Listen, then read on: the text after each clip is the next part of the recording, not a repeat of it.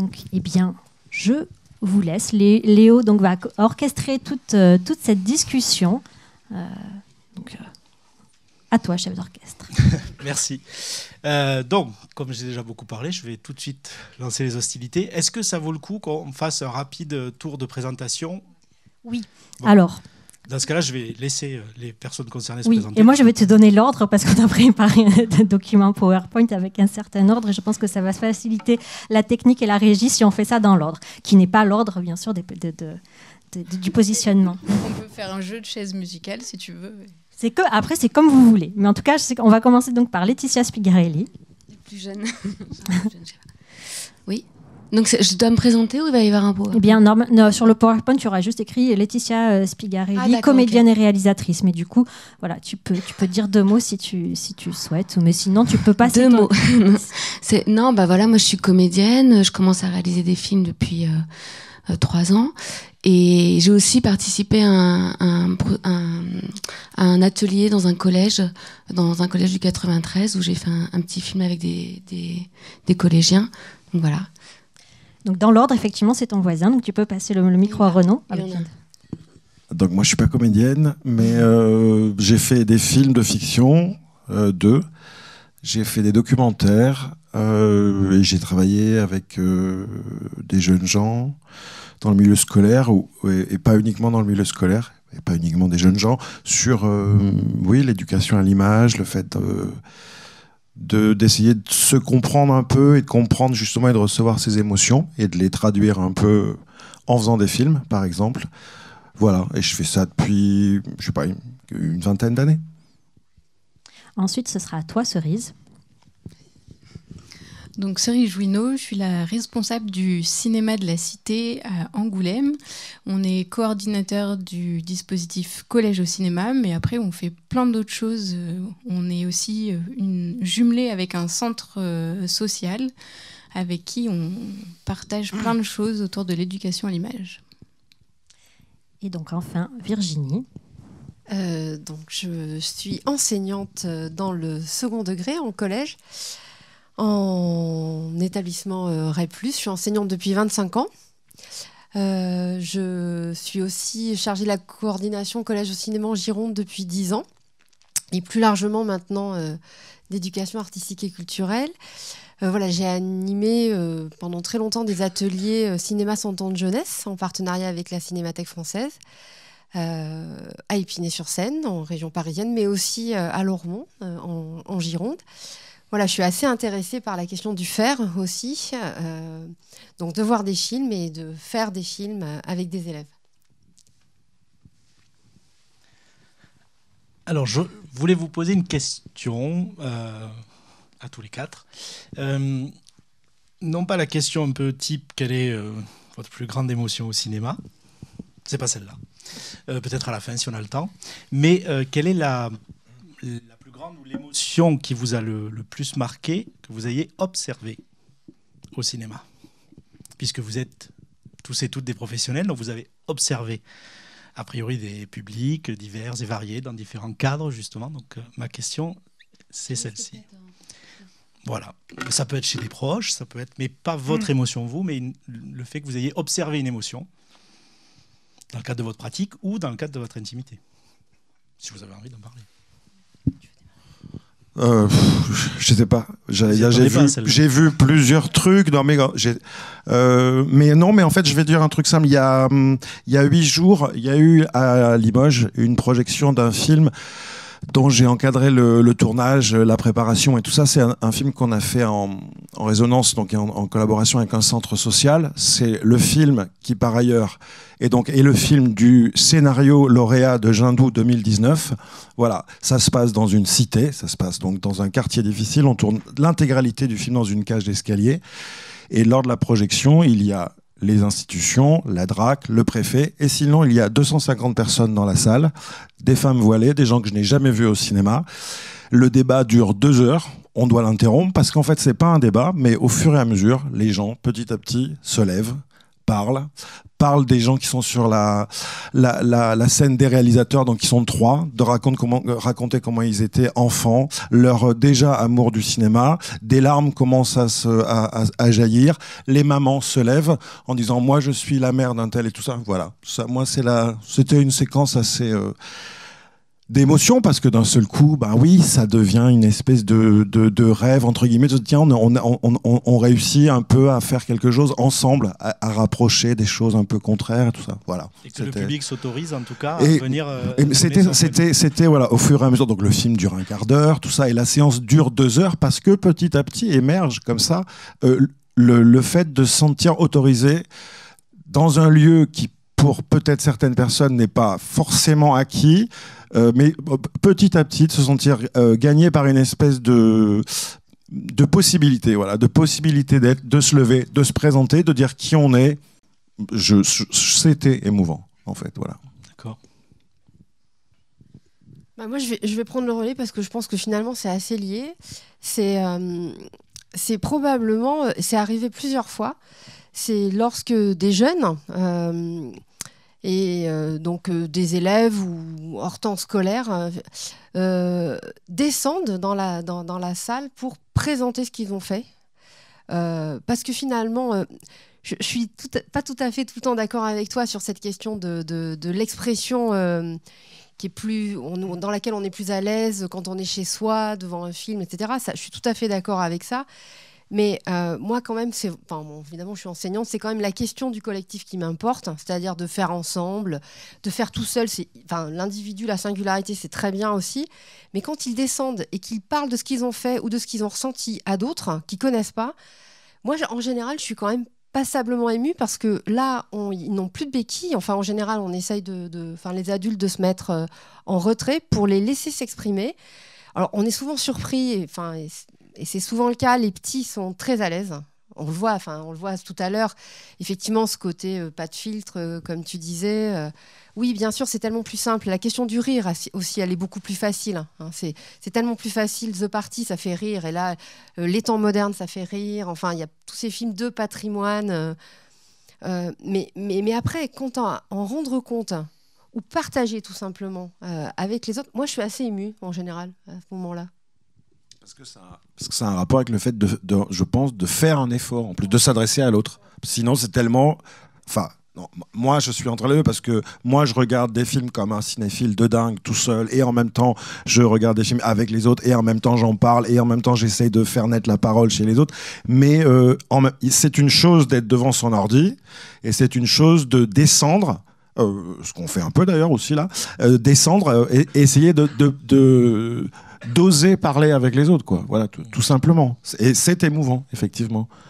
Oui, bien sûr. C'est la différence entre exprimer et partager. Euh, quand on exprime une émotion, après, on a, je pense, c'est presque spontané, on a envie de la partager. Quand on est tout seul, on peut pas vraiment le faire. Voilà, c'est ça le problème. Oui, euh, merci hein, pour, euh, pour tout ce que tu as, ce que as soulevé comme question. On pourrait parler pendant des heures et des heures. c'est marrant parce que tu as dit la plus grande émotion. Et je trouve que la notion d'émotion dont tu parles, elle, elle doit être toujours de l'ordre du visible j'ai l'impression, là-dessus, je serais pas trop d'accord, même en tant que comédienne. on est dans un monde où on nous demande que les choses soient de l'ordre toujours du visible et du grand, la plus grande. Qu'est-ce que c'est la chose la plus grande qu'on a? Et dans la question, est-ce quel est votre film préféré? Aussi les listes, tout ça. Toujours de, de comparer les choses. Et je crois que il y a des émotions qui sont de l'ordre du subtil et de l'ordre du, il n'y a pas du déplaisir et de l'ordre du plaisir. Alors, je, il n'y a, pas que les émotions qui sont dehors de, du plaisir ou de, lâcher quelque chose qui sont une émotion. Voilà. Donc quand vous me dites, ce qui m'est venu comme, euh, souvenir, ben, je vous en avais parlé, c'est quand j'ai présenté Elephant à un public de collégiens, euh, moi je pensais qu'ils allaient être super choqués. C'est un peu ce que dit, euh, j'ai beaucoup aimé le texte là, parce que ce qui se dit, c'est comment on transmet une émotion qu'on a en fait. Parce que quand on monte des films, on a envie que l'autre il aime le film. C'est un peu comme dans En amour. On a envie que l'autre il dise qu'on attend qu'il, qu'on a envie qu'il nous dise quoi. On attend qu'il aime les mêmes choses et que voilà. Et comment euh, donc moi éléphant, je me disais ils vont être super choqués. Euh. Et j'avais peur. La peur de la peur, j'avais peur que, que, que je les traumatise avec cette fusillade à la fin dans le collège. Et eux, ça les faisait rigoler. Alors, moi, ça m'a, c'était une émotion, ça m'a choqué. Euh, mais c'est une émotion aussi. Euh, voilà, ça m'a choqué parce que moi j'attendais d'eux qu'ils soient choqués et j'attendais d'eux, voilà. Et ça m'a embêté. Je me suis dit ah c'est hyper dangereux parce que tout de suite on est moralisateur, c'est hyper dangereux. Ils ont, ça les fait rigoler, mais eux en fait ils sont habitués à avoir des fusillades tout le temps. Euh, et mon côté, voilà, euh, mon côté moralisateur fait que moi j'attends qu'ils réagissent comme j'ai envie qu'ils réagissent. Alors je crois que dans l'émotion, il y a vraiment l'idée de l'altérité, quoi, qui est vachement importante, c'est qu'on n'a pas tous les mêmes émotions face à quelque chose, enfin, et que dans la transmission, comment est-ce qu'on fait pour accepter que l'autre n'ait pas les mêmes émotions que nous on voudrait qu'il ait, quoi. C'est c'est l'amour, quoi. C'est tout problème de la vie, de l'amitié, de tout. enfin, et, merci parce que je m'étais jamais posé la question comme ça, et voilà. Non, on disait tout à l'heure qu'effectivement, le, ce qui est intéressant, c'est que c'est s'autoriser à avoir son émotion à soi. Enfin, je, parle de, peut-être des jeunes, mais qui c'est un premier, un premier pas vers quelque chose qui est peut-être assez beau et incroyable dans, dans, un deuxième temps, qui est après, ce sont des évidences, mais c'est de dire et, de comprendre et de recevoir les, les, émotions des autres, en fait. C'est, Et d'être déstabilisé quand on ne euh, ressent pas ce voilà. qu'on pensait. Je voudrais dire quelque chose. Par exemple, moi, j'ai eu beaucoup d'émotions dans un, dans un moment que vous avez montré. C'est quand ce, ce mec, il dit sur la guerre d'Algérie. Moi, ça m'a. Alors, il, a, il est peut-être, vous dites, il n'est pas dans l'émotion comme les petits qui disaient après, mais pour moi, alors, et ça, ça, tiens, ça a à voir sur le jeu, parce qu'on attend des acteurs qui pleurent. Qui... Moi, j'ai trouvé ça hyper émouvant ce mec qui regarde face la caméra et qui dit j'ai été sept ans en Algérie. Moi j'ai eu tout qui m'est venu. En plus quelqu'un m'a parlé hier euh, qui était algérien de la guerre d'Algérie. J'ai eu tout qui m'est venu.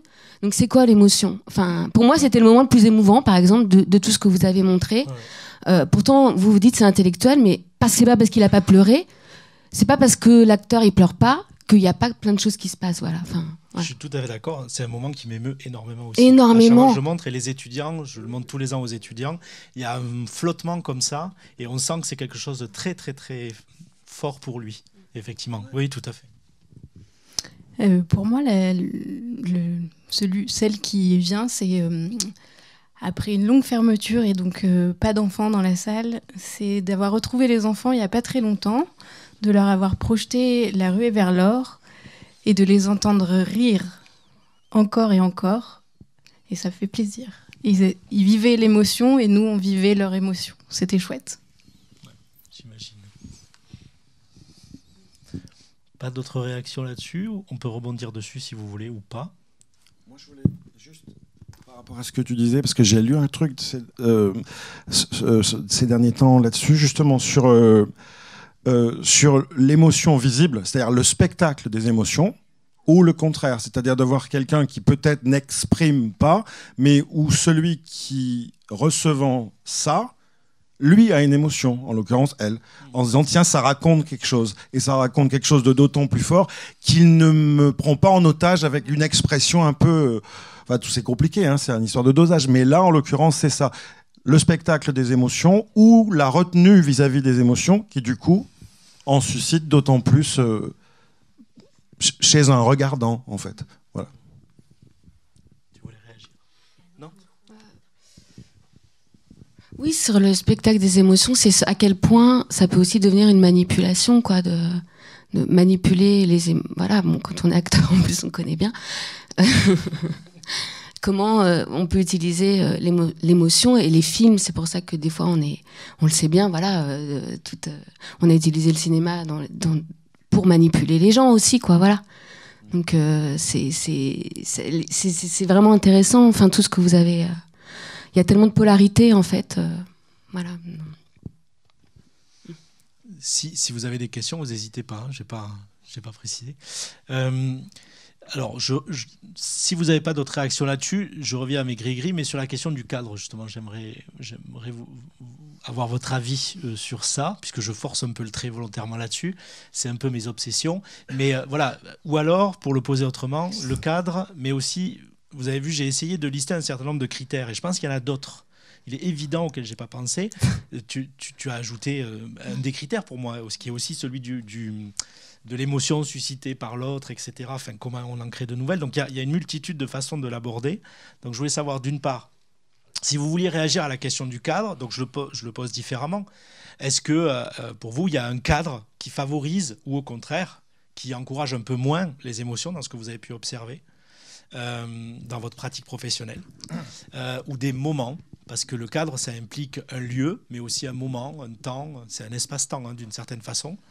Euh, mais aussi, bon, c'est une deuxième question, euh, si vous, ajouteriez d'autres choses qui rentrent en jeu, à votre avis, dans euh, le fait que les émotions puissent s'exprimer, puissent se partager, puissent être suscitées? Parce que c'est vraiment, je pense, trois verbes, il y en a peut-être d'autres aussi, c'est vraiment arriver à faire susciter l'émotion, à, bon, la ressentir bien sûr, à l'exprimer et à la partager. Ça, c'est vraiment un point important qui a, déjà été souligné.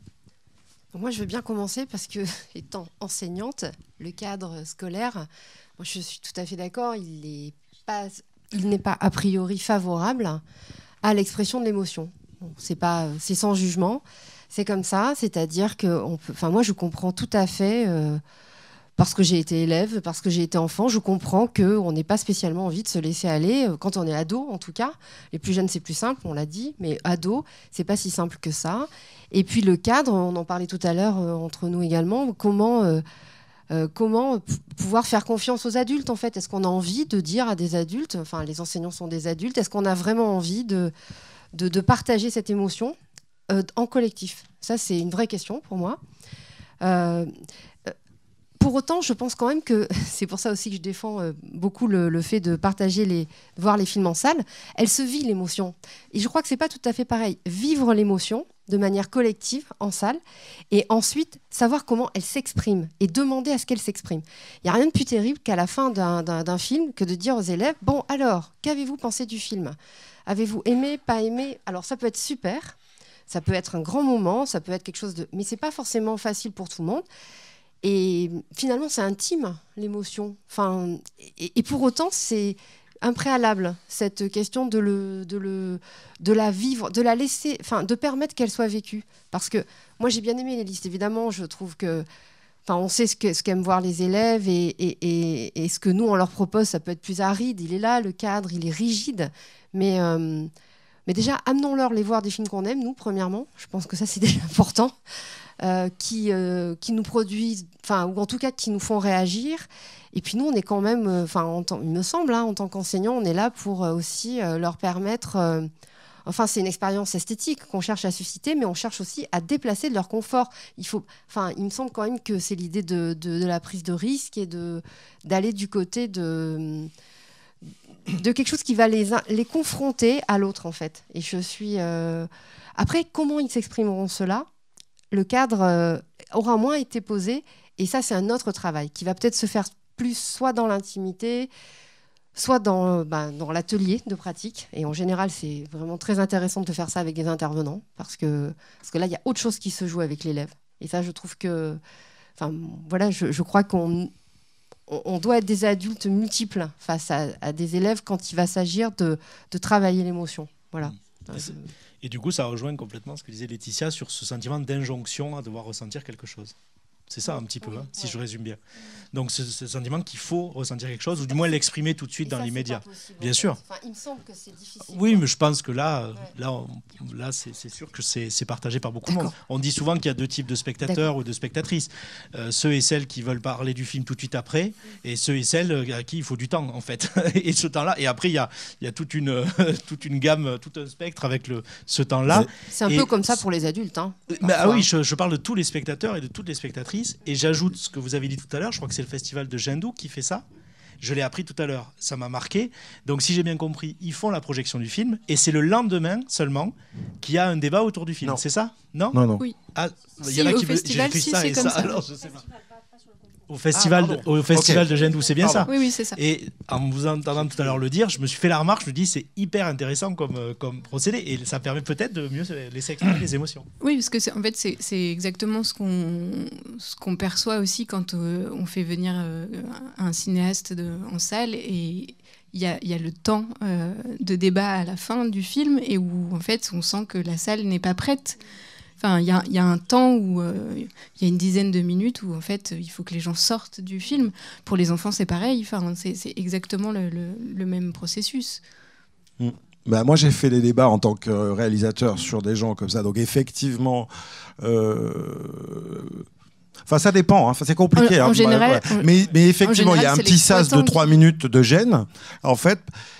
Et mon, boulot, ça consiste aussi. Euh, c'est-à-dire que là, je dirige encore des acteurs, en fait. C'est-à-dire quand je fais la préparation, quand je présente un film. C'est-à-dire que je, je dois donner le sentiment au spectateur qu'il est un peu aimé, en fait. Et, euh, et la parole, à ce moment-là, de, devient vivante. Et quand je, quand je fais. Euh, voilà. Donc ça. Et, je voulais dire que. Et du coup, une émotion euh, se permet d'exister et effectivement peut-être se diffuse dans le temps. Et, par moments, je pense que certains certains, jeunes qui, la reçoivent au contact d'un intervenant, que sais-je, d'une idée, d'un partage, euh, ben peut-être qu'ils n'arriveront pas, c'est pas consciemment là, maintenant, ou même dans la semaine, ou même dans l'année que, que, ça va hum, germer. Mais ça, va être, ça, nourrit petit à petit. Quoi. Voilà. Non, je voulais juste rajouter par rapport à, au, l'extrait tout à l'heure qu'on a vu sur Mréjean, euh, qui filme les enfants moi, proportion gardée, diriger un acteur, c'est lui faire croire qu'il est important et qu'on l'aime. Euh, et on a une dose de mensonge vis-à-vis de ça. Je, plaisante un peu. Moi, je, suis un peu débordé par un espèce de, truc sincère, notamment avec une actrice qui, à ce moment-là, se sent autorisée à être avec euh, dans la vulnérabilité, dans des défauts, pas uniquement dans la performance et à ce moment-là atteindre l'émotion. Ça s'appelle un regard d'amour. C'est-à-dire que le, ça s'appelle un regard d'amour. Enfin, Donc, tout simplement. Construire une sorte de, de, relation plus ou moins équivalente avec le public pour euh, susciter des émotions. aussi, oui. Et, ouais, oui. Aussi. Peut-être pour revenir sur la, la question du cadre, euh, tu parlais de, de, de la partie euh, enseignement. En fait, côté salle, en fait, je pense qu'il y a quand même aussi toute la part de, de de l'équipe du cinéma qui, euh, qui aide aussi à, accompagner les, les, enfants dans cette, euh, dans cette quête d'émotion. Enfin, on, les autorise aussi. Euh, et nous, au Cinéma de la Cité, on leur rappelle en début de séance qu'ils ont le droit de rire, qu'ils ont le droit de pleurer, tous ensemble s'ils ont envie. Et, et je pense que c'est important aussi qu'on leur rappelle que c'est autorisé. Oui, alors ça, je pense c'est un point très important parce que je fais exprès de réduire au cadre. Et donc, je me répète, c'est réducteur parce qu'il y a aussi les personnes dans ce cadre qui peuvent agir. Alors après, il y a des cadres qui sont tellement durs et rigides, même s'ils peuvent bouger, que même les personnes en se débattant, euh, voilà. Mais je pense qu'il y a des cadres qui sont plus souples que d'autres. Et la salle, je pense, en fait partie. Mais ne serait-ce que la question du cadre de la salle et le fait, on parle de s'autoriser de s'autoriser à faire ce travail-là, finalement, c'est assez récent hein, dans le monde de l'exploitation. Il a d'abord fallu reconnaître le travail de l'exploitant comme celui d'un accompagnateur. Et ça, ça date franchement des années 80-90. Le CNC avait fait des enquêtes qui, auprès des exploitants qui disaient comment est-ce que vous vous voyez? Et c'est là qu'on voit émerger doucement dans les années 90 le fait de dire mais moi, je suis aussi un animateur, je suis aussi, euh, il y a des mots nouveaux qui ne faisaient pas très peu partie de la profession à ce moment-là. Donc c'est aussi quelque chose qui se construit dans un cadre qui n'était pas pensé pour ça au départ. Et c'est intéressant. Et pour l'école, c'est pareil, même si je pense que c'est un cadre qui met beaucoup plus de temps à bouger. Pour rebondir sur ce que tu disais, il y a aussi le fait que dans les textes, officiellement, il est écrit la liberté pédagogique, l'importance du ludique, mais on voit que dans la pratique, ça a encore du mal à prendre cette, cette, place de la distraction. C'est très compliqué, alors que, que, les textes et les supports eux-mêmes euh, sont, sont, parfois, voilà. Euh, Enfin, on a des textes de propagande, on a des films de propagande, on a des textes euh, qui, qui, parfois euh, voilà, gênent certaines familles. Enfin, je veux dire, euh, on, est confronté aussi bien dans, l'image que dans le texte en tant qu'enseignant voilà, à, des moments où on a l'impression d'être un peu borderline. Alors dès qu'il s'agit d'aller au cinéma, bon alors là les limites sont tout de suite dépassées parce qu'effectivement ça peut créer des scandales. On on, pas forcément, on va pas forcément revenir sur sur les films euh, qui ont pour autant suscité de l'émotion des élèves ou en tout cas de la discussion parce qu'on sait pas au départ si c'est vraiment de l'émotion de la discussion, mais la question de la distraction euh, à l'école, euh, bon, on est, on est un peu dans l'héritage, un héritage ancien. Moi, je trouve que que malgré tout, quand, euh, quand il y a cette question, la question du plaisir, euh, qui n'est pas tout à fait la même que celle de la distraction, euh, c'est quand même un peu gagné. Et, mais c'est toujours pareil pour, pour, enfin, toujours pareil dans le cadre scolaire, hein, mais pour en arriver à cette question du plaisir, peut-être faut-il être passé par des étapes bien plus arides euh, c'est pas si facile que ça. Par exemple, les, films qui plaisent aux élèves, on sait que c'est exactement comme les textes qui plaisent aux élèves. Il faut pas qu'il y ait trop de descriptions, donc il faut qu'il y ait beaucoup d'action. Et il y a une question de la temporalité qui est très particulière pour les plus jeunes. Pour autant, dès qu'il s'agit d'essayer d'en rendre compte à l'écrit, ils se rendent compte, eux, qu'ils ont besoin d'un temps. Voilà. Et la question du temps au cinéma, euh, du temps du spectateur comme le temps de faire, comme le temps d'écrire ou de... J'ai presque l'impression parfois que c'est la notion la plus, euh, la plus importante, ah bon, avec la lumière peut-être.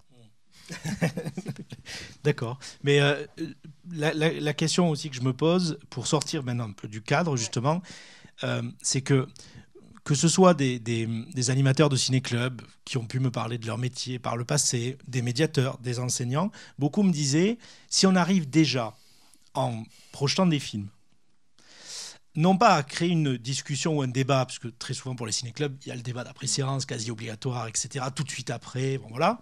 Mais si on arrive juste à, à faire que le film va être discuté, partagé, débattu en dehors du ciné-club, en dehors de l'école, s'il faut une semaine après, deux semaines après, dans le cadre de la famille, dans le cadre des proches, c'est gagné. C'est-à-dire, on n'est pas forcément obligé, nous, médiateurs, d'être là pour aller collecter cette parole. On aimerait bien, parce qu'on peut y participer, l'encourager. Mais si déjà, on amorce quelque chose, déjà par la programmation, on fait découvrir un film qui surprend, euh, qui fait ressentir des choses, et du coup, ça va aller ensuite, etc. C'est gagné. Je m'interroge, pour revenir maintenant à notre critère, celui de la programmation des films, si malheureusement, à des moments, il y a des films qui sont tellement marqués par le cadre dans lequel ils ont été projetés, même si c'est des films qui ont fait ressentir des choses, on va les rejeter parce qu'on rejette le cadre en les rejetant. Je m'explique. Euh, des films qui nous ont sincèrement plu, vraiment dans notre corps, etc., qu'on va s'interdire d'aimer parce que c'est un film qu'on a vu à l'école. Je vous prends un exemple, le mien. Lorsque j'ai fait lycée apprenti au cinéma, je suis allé voir Les Oiseaux d'Hitchcock. J'ai adoré Les Oiseaux d'Hitchcock et particulièrement la fin qui m'a tellement surpris que je savais plus où j'habitais. Et à la fois j'étais énervé, en même temps j'étais content d'être énervé, ou je ne savais pas trop, etc. Je suis sorti du cinéma. Au moment où je suis sorti du cinéma, tous mes amis ont dit c'est nul, la fin elle est nulle. Voilà, j'ai décidé que le film était nul et que la fin était nulle. Et ça m'a pris des années avant de, de dire il est génial ce film. Je l'ai complètement rejeté. Alors, je l'ai rejeté par la pression des autres, mais les autres eux-mêmes l'ont rejeté parce qu'il fallait le rejeter. C'était, euh, en plus, c'était une prof qu'on n'aimait pas. Euh, voilà, c'était. Voilà. Enfin, moi, je l'aimais bien. C'est vachement important. Un autre exemple. Mais c'est très exemple. important. C'était une prof que moi j'aimais beaucoup, mais j'osais pas le dire. Et donc, mais, mais tous les, tout le monde l'a détesté, et moi, je l'aimais bien. Elle était quand même assez hard, mais moi, je sais pas, je l'aimais bien. Jamais j'ai pu leur dire que je l'appréciais. Et c'est elle qui nous montrait le film, donc on devait le détester. Donc, vous voyez, c'est ça que je veux dire sur la question du film. Comment, même un film qui nous a plu, mais si vous l'avez quand même aimé. Ben oui. En fait, c'est de l'ordre du c'est toujours le visible et l'invisible. Oui, mais de façon invisible, vous avez une, émotion d'amour et de façon visible, vous avez le rejet. Ça arrive tout le temps. mais j'y suis revenu, je pense, je suis revenu à ce film grâce à mon métier, à ma cinéphilie. Et je me dis que si j'étais pas allé là-dedans, je pense que je serais jamais revenu aux autres Hitchcock. C'est vraiment arrivé aussi. alors c'est un peu compliqué parce que c'est en même temps s'affranchir du regard des autres et en même temps, ça ne veut pas dire que je me fous du regard des autres. Mais sinon, le truc des émotions, c'est que des fois, ça brûle. C'est-à-dire qu'on a honte. C'est-à-dire, c'est honteux à 14 ans, 15 ans et même à 50 ans. Ça fait peur, ça déplace, ça, brûle. Moi, j'essaye, je parle un peu comme ça. Mais je suis là un peu pour exploser les cadres aussi, des fois. Mais donc, je dis, ça brûle. Donc, il euh, bah, faut gérer la température. Mais c'est aussi euh, ouais, un truc qui a un rapport avec la honte. Oui, je pense aussi. Non, mais l'âge de l'adolescence, c'est se conformer, quoi. Enfin, c'est vrai qu'on est beaucoup dans et à la fois vouloir de vouloir appartenir au, voilà, vouloir appartenir au groupe et enfin et se distinguer des adultes, quoi, des vieux comme. Est-ce qui est hyper ça qui est, ça c'est un peu triste en fait, ce truc des vieux, des jeunes. Ça c'est, ce serait comment on peut faire oublier ça, euh, qu'on, mais bon, c'est la réalité aussi. Mais comment est-ce que ces catégories-là, euh, ça peut hmm. Et c'est précisément ça qui est très émouvant. Par exemple, tout à l'heure, tu prenais un exemple de classement qui a été fait, je sais plus, je les connais un peu les classements, mais le classement des vieux et le classement des jeunes. Bah, ce qui est très émouvant, c'est quand le classement des jeunes rencontre le classement des vieux. Précisément ce que, ce que tu dis, les rencontres comme ça. Parce que ce qui est aussi très émouvant, c'est de sentir un adolescent ou un jeune ou un être qui n'ose pas s'affranchir du regard de l'autre, alors que nous, on, a l'impression de sentir qu'il le voudrait. Euh, ça, c'est assez beau et émouvant. On peut sentir ça. C'est même, enfin, là, je parle dans la vraie vie en tant qu'intervenant. Mais sinon, en tant que, euh, c'est même ce qui est très beau souvent chez des personnages, c'est que, que, nous, on arrive à comprendre son émotion parce qu'on partage le fait de ne pas oser la montrer totalement, en fait. Je fais une parenthèse. Je pense que la question de reproduction-distinction elle est très marquée à l'adolescence, mais je pense qu'on vit avec. Euh, oui, c'est vrai. C'est ce que ça me faisait rire quand, quand vous disiez euh, une émotion sans filtre. Et bon, bah maintenant, il y a la physique quantique, elle nous apprend qu'on est toujours dans un cadre, en fait. Enfin, qu'il n'y a pas de, en fait, il n'y a pas de réalité, quoi. Il y a, je suis désolée, c'est, c'est, non, je trouve c'est génial, en fait. Ah, en fait, en fait, c'est, non, c'est une bonne nouvelle. bah non, maintenant, on le sait qu'on est tout le temps reliés en fait, il euh, n'y a, pas de, une, a pas une vérité qui existe absolue, quoi. C'est quand même génial. Oui, ça d'accord. De ce point de vue-là, je suis d'accord. je suis rassuré. non, oui, tu voulais. Sur, euh, sur la programmation des, des, des, films pour, euh, enfin voilà, qui peuvent susciter du plaisir. Moi, moi, je suis toujours partagée sur sur la forme aussi du film en fait. Euh, si c'est trop ancien, euh, on passe à côté. On passe à côté car, euh, enfin quand même la jeunesse aussi parfois maintenant, enfin ils ont de tels outils, ils savent manipuler, enfin ils, savent monter. donc c'est important de pouvoir revenir aussi à ce que c'est qu'un plan au cinéma, enfin à ce que c'est que le montage au cinéma. Donc on a l'impression, on ne sait pas trop si, ce qu'on doit leur apporter ou pas leur apporter, si on est dans l'animation ou si on est dans l'éducation artistique en fait. Ça c'est une question que je me pose. Et ce qui est certain, c'est que quand, euh, quand ça fait œuvre, quand c'est une œuvre, c'est beaucoup plus simple en fait aussi. Et, il y a des œuvres qui, hélas, enfin moi je repense à, à une séance d'accompagnement euh, de collégiens, c'était La mort aux trousses. Donc euh, voilà. Et là, ça a été une catastrophe. Ils sont ressortis, ils ont trouvé ça trop long, les effets spéciaux nullissimes. Donc, et là, on n'avait plus de ressources on n'avait plus aucune ressource. Tout ce qu'ils disaient était très convaincant. Ils étaient très convaincants. Euh, et c'est terrible. Il y a un peu de mise en scène avec un avion un peu vieux, mais c'est un peu terrible. Mais c'était terrible. Donc, euh, donc, euh, donc on, se dit bon, très bien, ce, film-là considéré comme un film de patrimoine, ok. Et bizarrement, donc je réfléchissais, mais Chaplin, et euh, quand il y a une question qui sera plus là, voilà, un film d'espion, d'aventure, etc., qui sera où la question du peuple va être au centre, par exemple, d'une filmographie ou la place de l'acteur dans le cadre, dans la mise en scène. et euh, eh ben Chaplin, ça marche tout le temps, en fait. Et euh, je me posais cette question-là, moi, de, de, comment on suscite le plaisir à tous les âges, hein, par ailleurs. Euh, parce, que. Non, mais c'est sur le plaisir, c'est ça. Pardon. Non, non, mais je me dis, la maison, la maison qui glisse dans la rue Everlore, euh, elle est peut-être moins jugée, peut-être négativement, comme un effet spécial euh, de moins de bonne qualité que certains trucs de terreur, comme les avions, par exemple, parce que ça, parce que c'est désarmant en fait, justement par rapport à l'émotion, c'est assez désarmant. voilà percer le mystère Chaplin, je pense que personne n'est encore arrivé, mais bon, on peut essayer. tu, voulais réagir Je disais sur le plaisir. Est-ce qu'une émotion, ne pas avoir d'émotion, enfin, c'est aussi ça construit aussi quoi en fait. Ne pas avoir de plaisir, ne pas avoir aimé, ça construit aussi. Est-ce qu'il faudrait que que, ce, que j'ai vécu un truc fort. Non, ben, des fois, j'ai pas vécu la règle du jeu, ce que vous disiez tout à l'heure, ben, ça vous constitue. Le fait de ne pas avoir aimé ce film. c'est ça, je veux dire. La question, c'est comment faire quelque chose de ça, de ce sentiment-là. De juste rester sur la frustration et de ne rien en faire. Oui, mais j'aime bien ce que vous avez dit sur l'amour, c'est-à-dire qu'il faudrait aimer aussi la réaction de euh, non, la mort au trou, ça m'a fait chier. Ben, il faudrait aussi l'aimer. Autant que.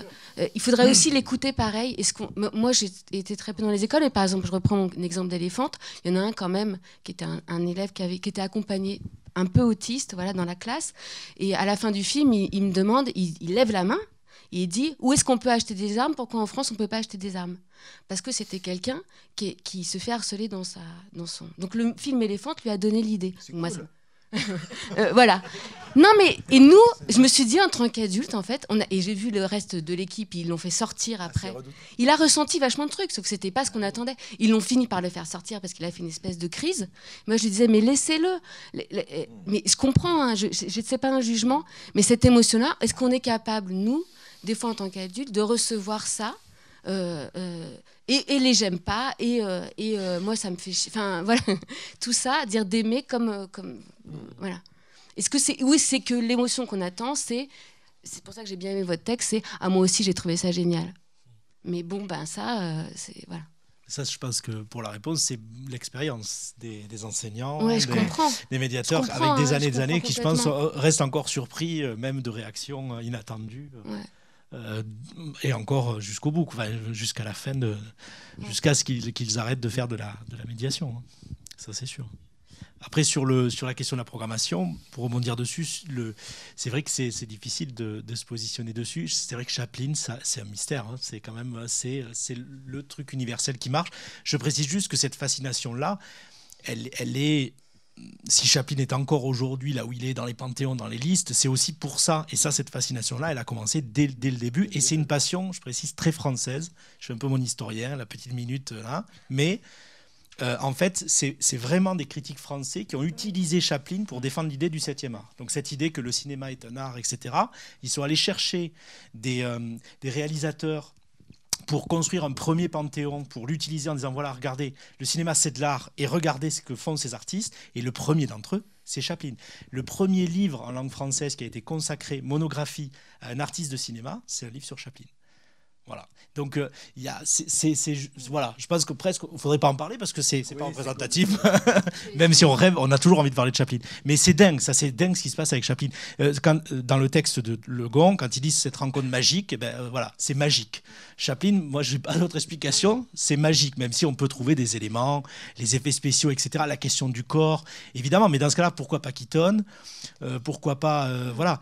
Donc, il y, y, a vraiment un truc, il y a un truc, et c'est une fascination qui a fasciné les enfants, mais aussi les adultes déjà dans les années 10. Donc euh, c'est ça qui est incroyable, c'est ça qui est fou avec Chaplin.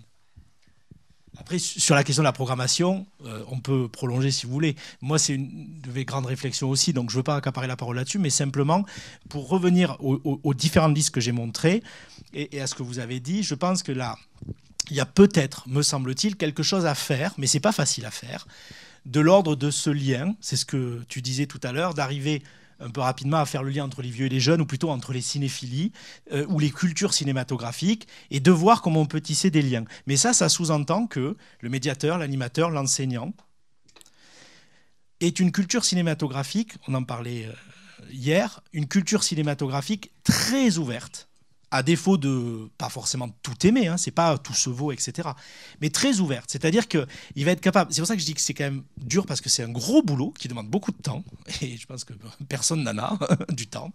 Euh, et du coup, c'est vraiment de s'intéresser quand même, pas, pas par posture démagogique ou quoi que ce soit, hein, mais de s'intéresser quand même dans une certaine mesure à ces différentes listes et à ces différentes cultures cinématographiques pour ensuite pouvoir faire ces liens. Parce qu'il est impossible de faire ces liens si on n'a pas un minimum connaissance du reste. Donc, regardez ce que regardent les, les plus jeunes, regardez ce que regardent les plus vieux aussi, euh, et essayez de voir comment on peut faire le lien. Et je pense qu'il y a des films vaisseaux comme Chaplin, mais Chaplin, je l'ai dit, c'est trop facile, mais il y a des films vaisseaux.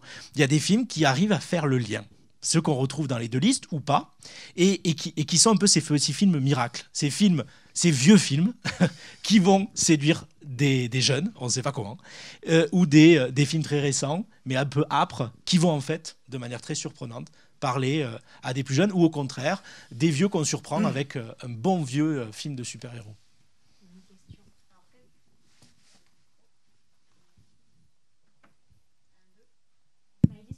Ça y est.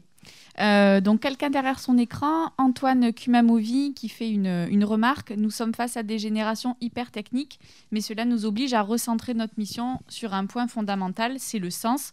Donner du sens et des clés pour comprendre et faire.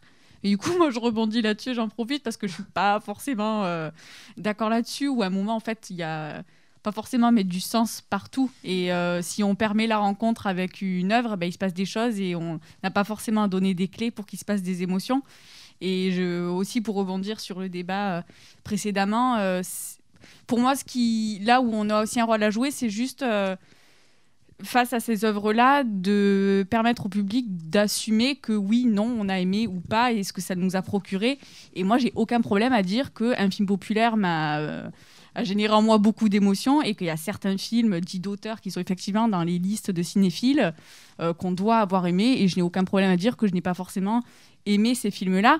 Et euh, justement, ces derniers temps, je m'amusais à faire les listes de mes, mes, films préférés et on met pas dans ces films préférés, on met pas forcément des listes, on liste pas forcément des films. Euh, de la culture cinématographique, pas forcément justement. C'est aussi ben, qu'est-ce qu'on, pourquoi on les aime, peut-être pour des, des, des, raisons qui sont euh, ben voilà, ou de souvenirs liés à l'enfance, etc. Et voilà, c'est aussi la distinction entre ce qui est de la culture cinématographique et de ces listes des films du Panthéon à avoir vu, et après, de ce que ça suscite en nous.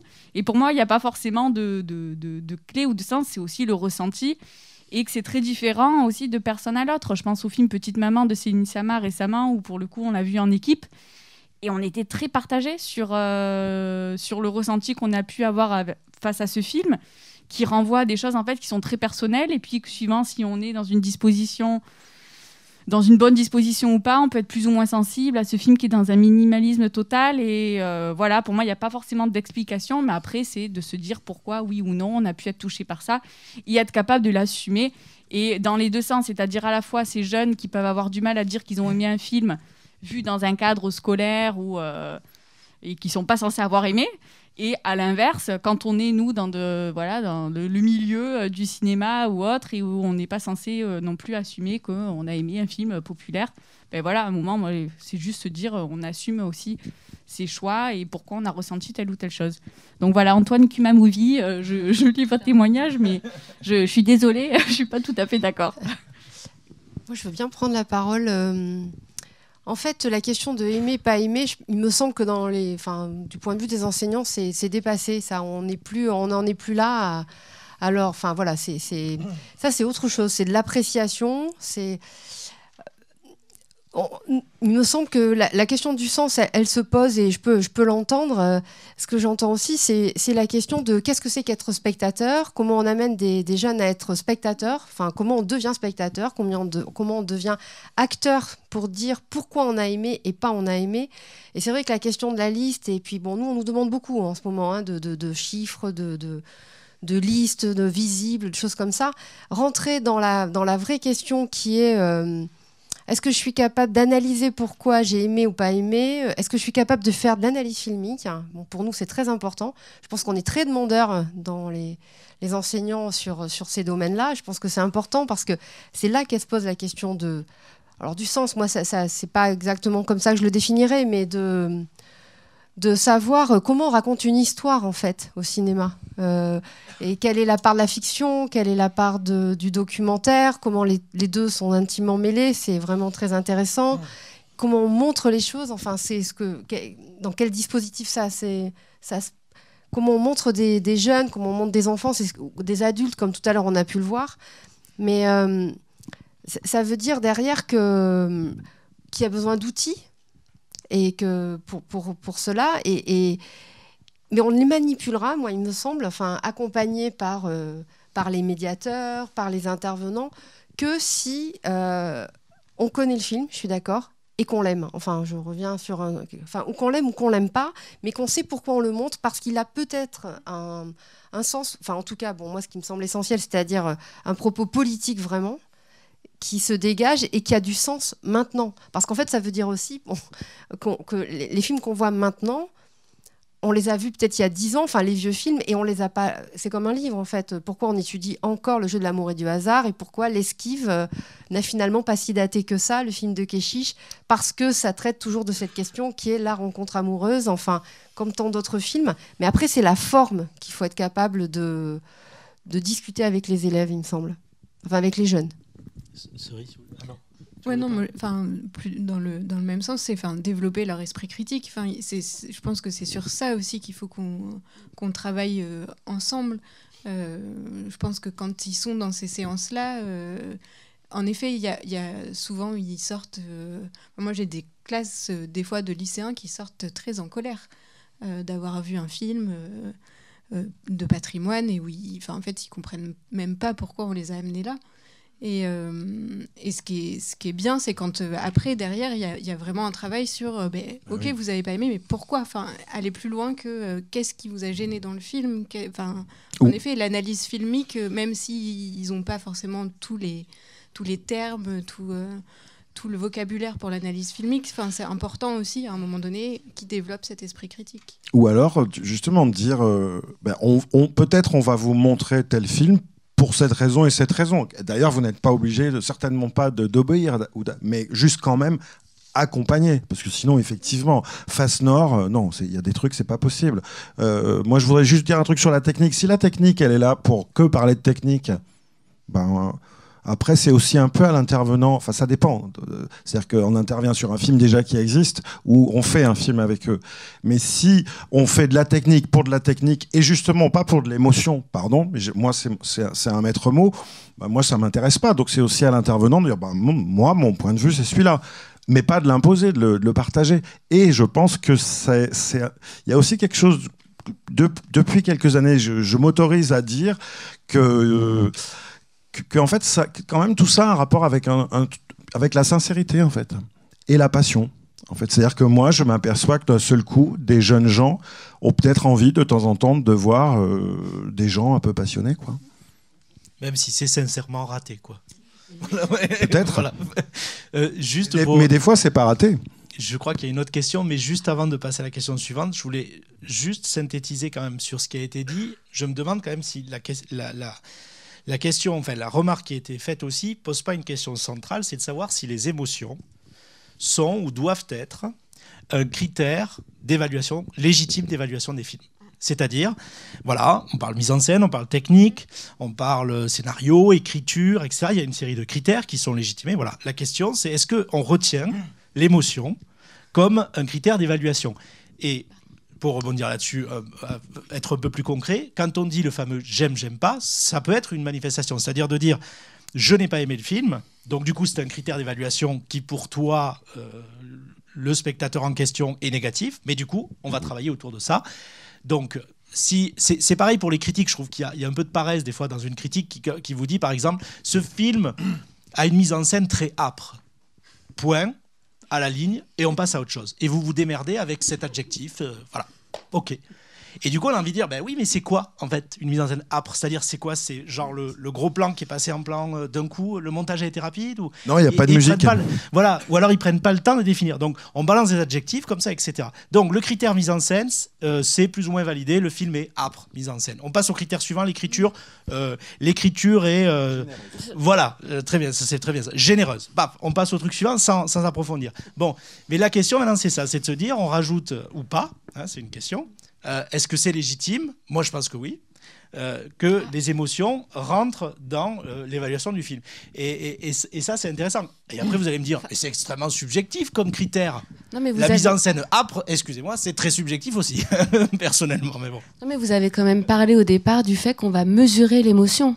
Donc je trouve que c'est un peu dangereux de dire que la qualité d'un film, c'est l'émotion qu'elle va susciter. C'est encore ce truc sur le visible et l'invisible.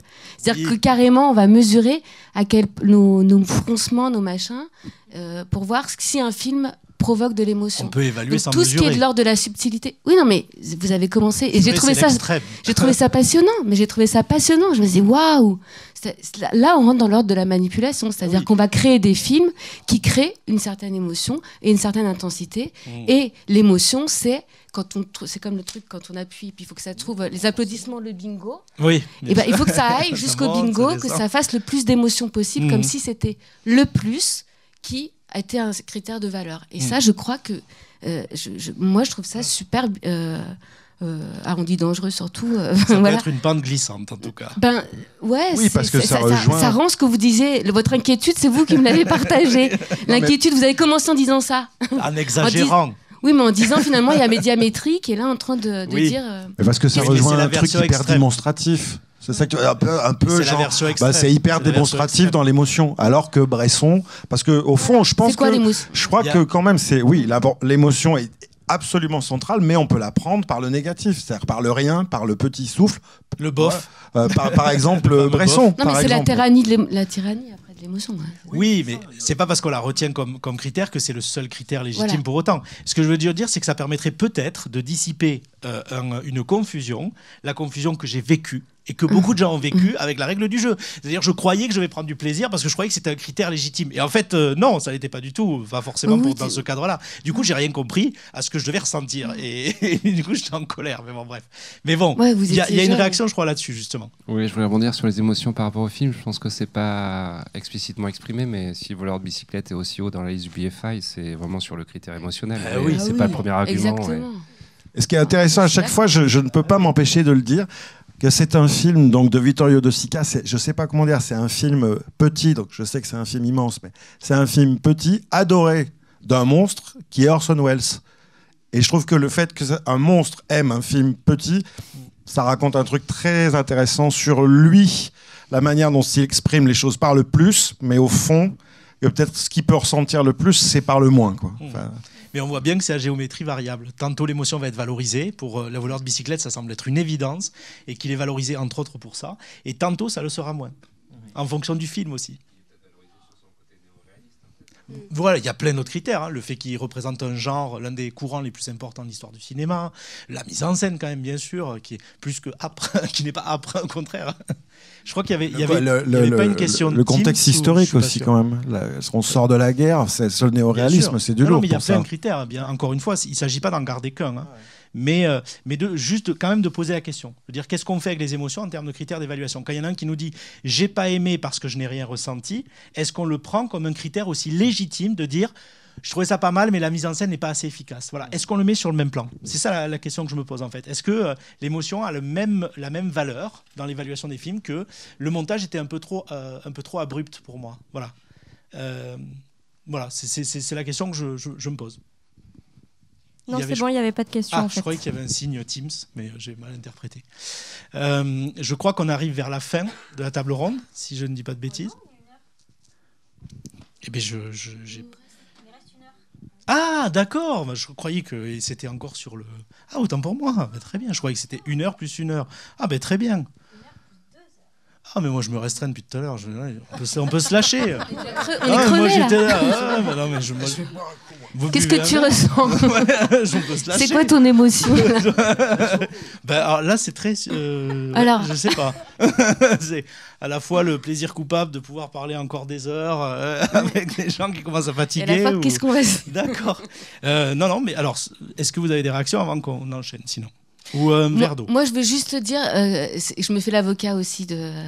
je, je me fais l'avocat du diable sur l'émotion, dans le sens où c'était pas pour dire que c'est pour dire qu'on attend qu'on juge les émotions en fait qu'on fait une hiérarchie entre les émotions et euh, mais je, suis moi-même en tant qu'actrice par exemple euh, j'ai été formée au conservatoire quoi où il y avait où l'émotion c'était pas très à la mode à cette époque-là je sais pas où ils en sont maintenant.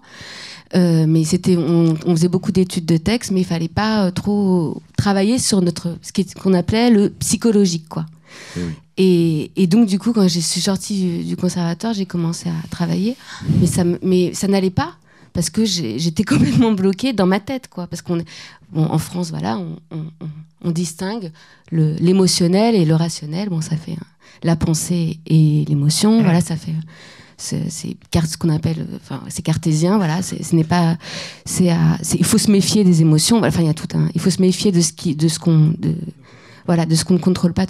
Et donc, du coup, euh, j'ai été à l'acteur studio. Voilà, je suis partie à New York parce que j'ai dit oh là là, enfin, euh, pour faire ce qui ne se faisait pas du tout parce que ça ne se fait pas du tout. Enfin, moi, je l'ai vécu comme ça. J'avais l'impression de transgresser quelque chose en après le conservatoire, aller euh, à l'acteur studio à New York où justement c'est le jeu psychologique. Alors, il y a beaucoup de critiques là-dessus. C'est le, le travail sur les la libération des émotions, tout ça. Donc voilà, je le dis, je me fais l'avocat du diable parce que j'ai quand même un parcours où euh, j'ai vraiment essayé de casser la bien-pensance de comment il faut faire les choses, euh, un peu française, quoi, j'ai envie de dire.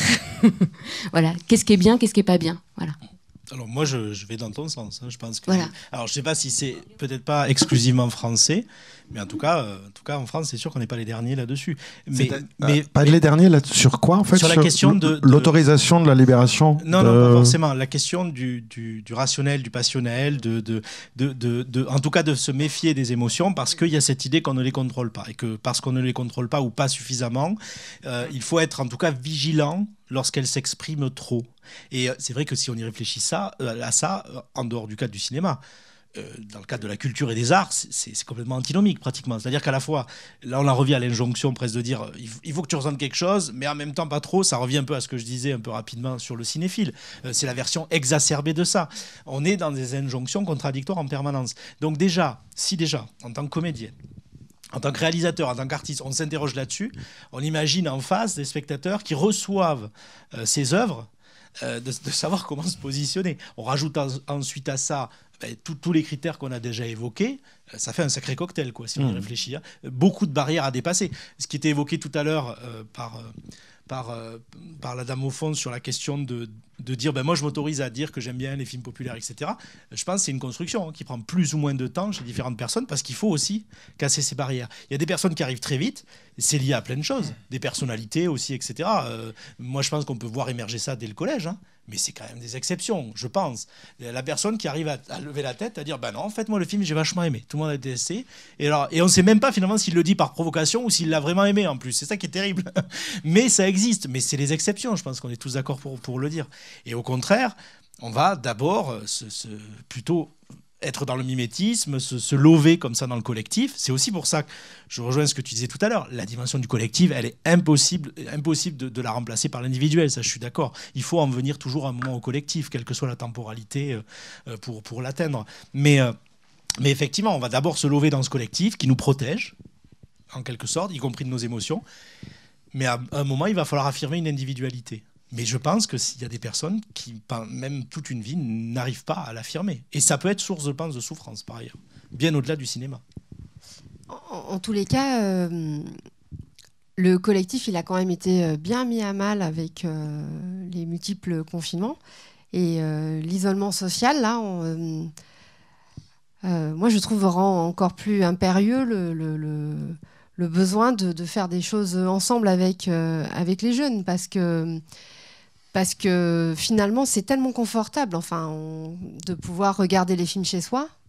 Euh, donc bon euh, je, crois en tout cas pour l'éducation nationale nous on a vraiment on réfléchit beaucoup sur euh, la question des plateformes aussi de toutes les plateformes et de pouvoir enfin de pas passer à côté là actuellement parce qu'il faudra pas qu'on passe à côté en tant qu'enseignant parce que parce que c'est tellement plus confortable. Beaucoup d'élèves ont eu beaucoup de mal à revenir en classe. Euh, et donc, euh, sans, sans être un peu massif, mais enfin quand même, je, crois qu'il faut... il faut sortir les élèves du collège. Enfin, c'était bien cette première remarque. Moi, j'adore quand ils disent qu'est-ce que vous avez préféré le plus dans le collège au cinéma? C'était sortir du collège. Mais tant mieux.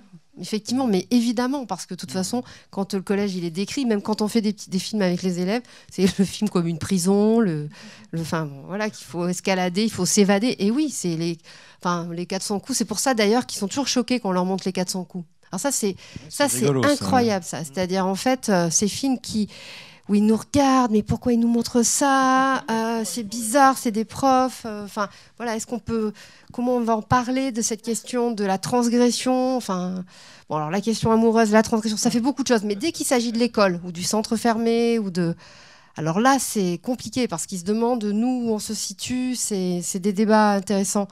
Mais j'insiste vraiment sur, euh, moi, voilà, sur cette ils ont besoin de, dire et de vivre des choses ensemble, mais avec des adultes et qui vont leur montrer aussi tout simplement ce qui se passe ailleurs, parfois, aussi au cinéma, et pas forcément euh, voilà, ce qu'on connaît. Enfin, ils vont de toute façon raccrocher, ce que, il me semble, ce, qu'ils sont. Moi, je pense que oui, parce que, enfin, c'est juste des trucs très simples. C'est de la mise en présence. C'est comme, euh, mais par rapport au contexte, ce, ce, que tu dis là, c'est hyper important. C'est de la, Oui, c'est du, c'est de la présence. Voilà, c'est de l'anti-filtre. C'est justement, c'est de l'anti-image. C'est, c'est sentir de la présence dans une image. Voilà, c'est, pardon, j'arrive pas à le dire autrement, mais je pense que oui, l'émotion est centrale là-dedans. C'est comme, euh, c'est comme si on fait de la programmation, par exemple, voir des spectacles en salle avec du public ou ne plus pouvoir faire ça et dire et se dire donc bah non ben en fait je ne vois que les spectacles comme là sur un écran. Ben ok mais il y a la mise en présence le, la présence de ce qui se passe autour du, spectacle qui, qui n'est pas là. C'est enfin pour moi ça me semble fondamental. Quant aux 400 coups, c'est un produit assez étonnant, car moi j'ai fait des ateliers avec des jeunes Jean, dont une jeune fille extrêmement euh, sensible à la poésie, euh, racontant, euh, écrivant un texte, le jouant comme ça, très très habité, et en me disant qu'elle était en, en, option cinéma, donc à Saint-Léonard. vers le Limousin, et de dire qu'elle aimait vachement la nouvelle vague et qu'elle avait eu un film nul, c'était Les 400 coups. Et je me disais, bon, d'accord, comment dire? Et en fait, non, moi, je me disais, mais non, je pense qu'elle l'aime, en fait. Elle, elle, elle, ose pas peut-être le dire ou, elle a pas trouvé le truc, mais je pense qu'elle aime. C'est ce que je disais tout à l'heure, c'est un peu brûlant, en fait. Ce film est incroyable. voilà. Moi, je l'ai vu avec une enfant de 7 ans, il y a, quelques, il y a un mois ou deux, et euh, qui a vraiment vu le film tout le temps. Et c'était, moi, j'étais ému du regard de la petite fille, en l'occurrence. Moi, j'ai, je vous enverrai le lien. Enfin, je sais pas, je le mettrai euh, où je peux le mettre. C'est un lien d'un, petit film qui a été fait par une copine à moi sur les 400 coups présentés à des élèves euh, dans un collège du 93. ils sont, à, la fois, à la fin, ils sont tous là. Ça les fait tout chier et juste, c'est vraiment, excusez-moi d'être vulgaire, mais vraiment ils le disent. Alors, euh, ils ont pas du tout vu le, et on voit toute l'expectative. Tout le monde rigolait quand elle l'a montré parce qu'on voit toute notre expectative à nous, qui avons adoré le film et qu'on se dit bah ça ça va leur plaire. Et vraiment c'est vraiment comique parce que et ils n'ont pas envie de parler. Parce que moi je voudrais je veux dire un truc de réac de vieille réac je peux non mais euh, parce que quand même alors je vais dire un truc vraiment là de vieille réac à la con. C'est que quand même bah dans les ça m'a passionné là les extraits que vous avez mis là sur l'émission de 1962 parce que quand même on voit ces types là euh, qui sont euh, pâtissiers il euh, y en a un qui est pâtissier, il y en a un autre qui est un tourneur. Le niveau, euh, voilà, ah oui, aux, aux, réclamations pour euh, la boulangerie, je sais pas quoi. Enfin bref, je veux dire, le niveau d'expression, de langage, je suis quand même. Alors c'est vraiment, je, veux dire, et le fond de ce qu'ils se disent, je me dis, et moi, je me, je, mon grand-père, il était cheminot, et des fois, il parlait de la musique de cette façon. Et c'est toujours, on a toujours ça quand on voit ces micro-trottoirs, même s'il a raison quand il a dit qu'ils étaient pris en. bon, c'est pas le cas du micro-trottoir, trottoir, mais des fois, même dans le micro-trottoir, on voit les gens s'exprimer. Le niveau de langage, alors c'est vraiment un truc de réac, mais quand même, c'est pour ça que je m'insurge un peu sur le truc j'aime, j'aime pas. Parce que comment cette richesse quand même de... Bon, ça n'a pas empêché euh, la Seconde Guerre mondiale et tout ce qui s'est passé. Non, mais c'est pour ça aussi qu'il faut faire attention sur euh, l'idée, ah bon, aujourd'hui c'est dangereux et tout. Bon, euh, cette culture-là, c'est le gros truc de la culture. Ça n'a pas empêché que les classes populaires étaient plus cultivées, ça n'a pas empêché ça de se passer. Donc voilà, c'est pas pour. Euh, donc voilà, je lance ce côté euh, la grosse réac pour le dire, mais quand même, je suis sciée du niveau de parole et je trouve que les critiques, comme vous dites, quand on voit les sur les affiches à Paris éblouissants, somptueux, de l'audace, enfin le niveau de langage, on est un peu triste. Alors, moi, je, l'esquive. Énormément d'enseignants n'ont pas voulu accompagner euh, les élèves voir ce film de Keshish. Et moi, c'est quelque chose que, pour les raisons que, que, tu donnes, parce que ça donnait une mauvaise image de la langue française. Donc moi, je suis totalement opposée à ce discours. Ça a été un vrai combat. Je ne vais pas citer les départements euh, dans lesquels ça s'est passé, mais euh, ah bah si. ça, a été ça a été très compliqué. Et par rapport à quoi? Par, rapport à la langue. Mais oui, parce que c'est pas une question de langue, c'est une question de discours, en fait, de, de profondeur. Ouais, oui, mais de, enfin, bon, la question du milieu social et de où ça se situe, enfin, et le fait de ne pas pouvoir comprendre ce film, parce qu'effectivement, euh, il y avait une manière de parler de Sarah Forestier qui faisait que, enfin, qui fait toujours d'ailleurs que quand elle s'exprime à ce moment-là, euh, elle a totalement euh, le langage de, jeunes euh, de Saint-Denis euh, dans, ce, dans ce milieu scolaire, euh, dans ce milieu urbain.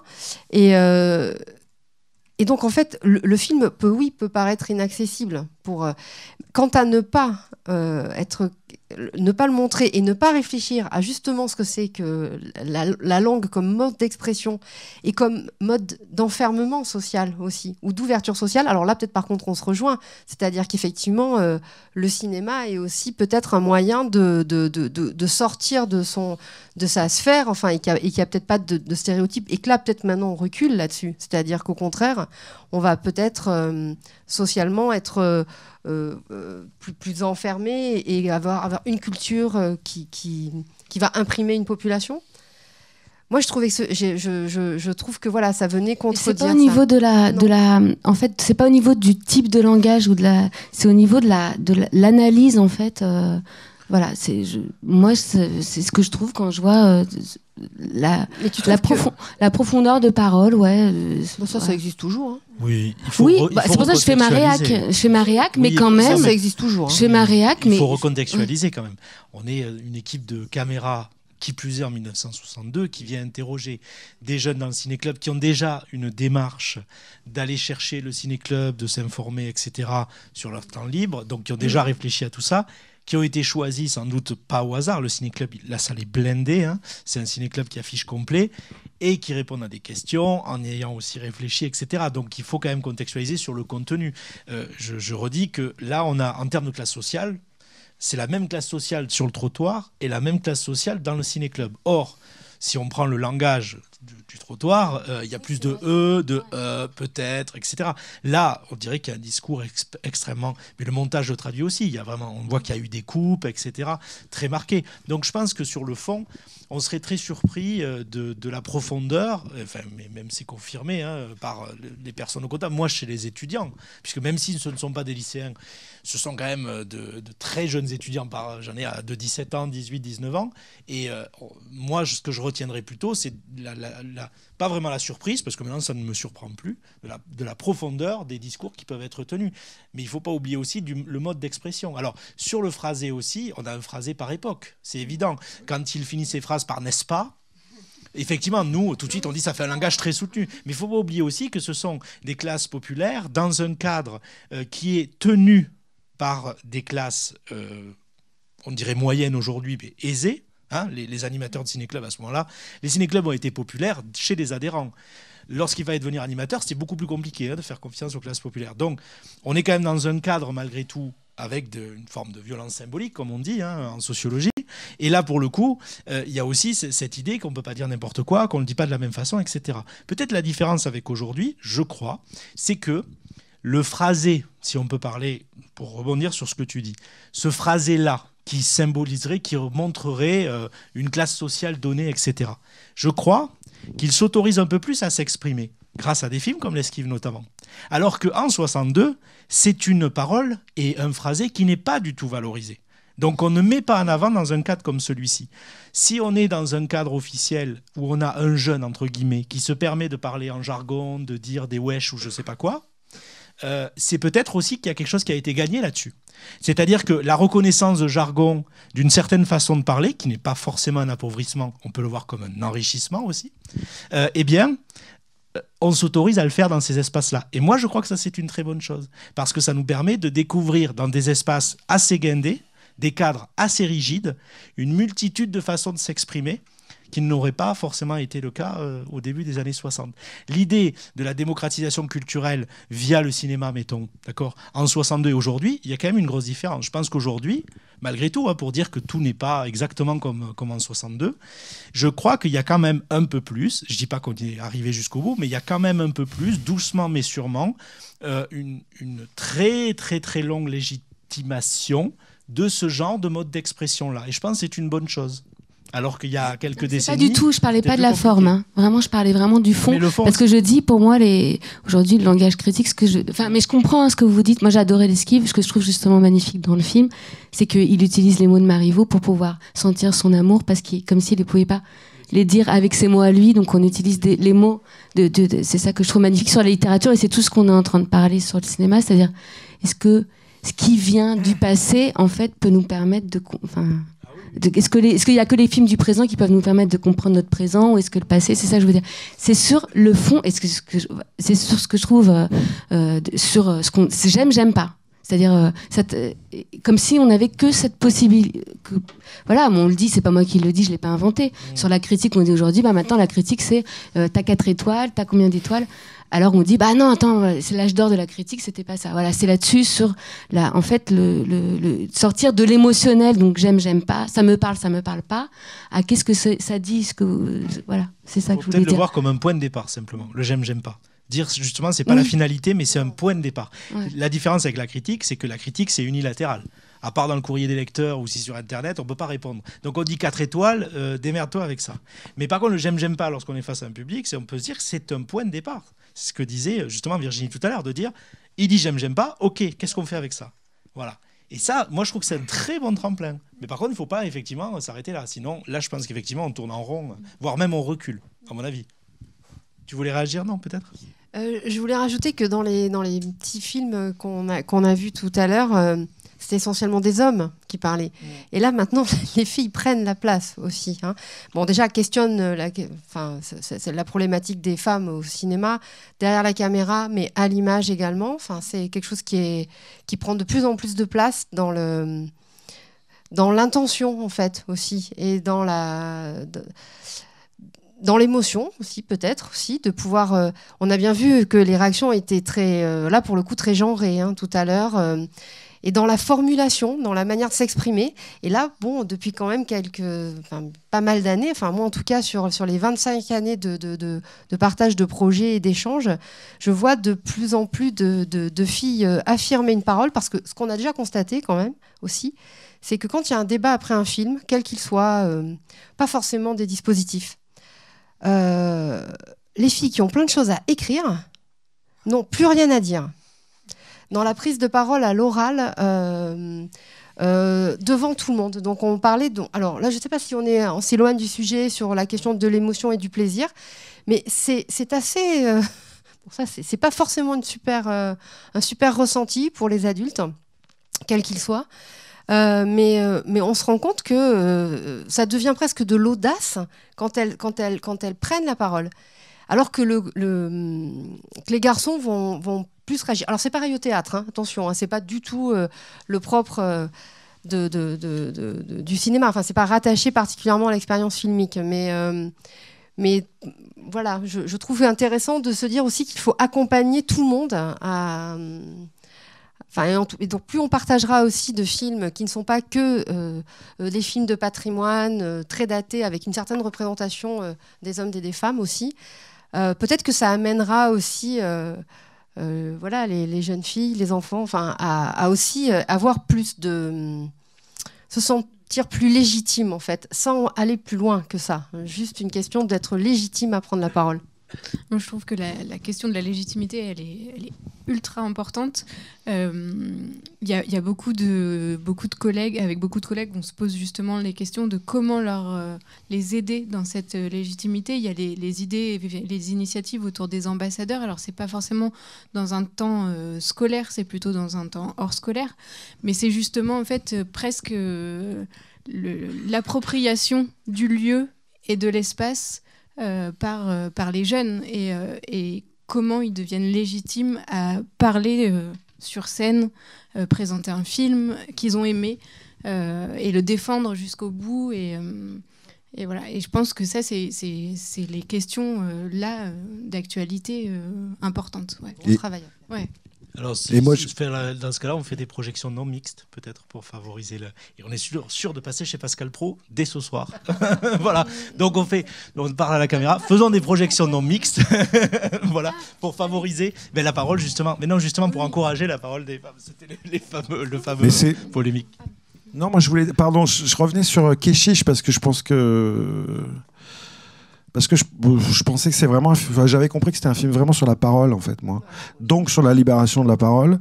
Et donc de se dire qu'en fait l'émotion, j'essaie de revenir sur l'émotion, c'est toujours un jeu euh, savant, rigolo, euh, pudique et de se dire en fait qu'est-ce que j'ose dire et, qu'est-ce que j'ose pas dire en fait. Donc donc du coup comment aussi la parole à moi devient donc le barrage il pète, c'est-à-dire que c'est la la c'est la confession en fait, voilà. Et euh, ça, c'est ça, c'est, je trouve ça magnifique, moi, sur certains films, parce que ça montre à quel point à un moment on n'osait pas, pas le dire en fait, pas, le penser, pas le dire. Et ça, et je, et ce que tu viens de dire, le, donc moi j'ai encadré un film où il y a une réalisatrice, où il y a des spectatrices qui réagissent, où il y a des mères qui n'osent pas parler, qui à un moment donné se, se sentent petit à petit légitimes parce que à ce moment-là elles n'ont plus honte de leur émotion, parce qu'on leur dit putain mais en fait, mais moi du coup avant avec une gamine de 18 ans pendant un an je lui dis en fait, que j'ai l'impression que ce que tu dis, c'est bien. Ah bon? Non, c'est pas bien. On a honte, on rigole, on est gêné. Non, je veux dire, ben, j'ai l'impression que c'est. En fait, ce que tu es, c'est peut-être intéressant, en fait. Et ça me semble, pardon, mais ça, c'est comme une image. Une image, c'est quand même filmé par quelqu'un. Tout à l'heure, tu disais euh, peut-être qu'aujourd'hui, on a gagné un peu de terrain sur une libération de la parole. On peut dire des ouais, des choses comme ça. Ouais. Et en même temps, attention à ce que ça ne devienne pas du folklore.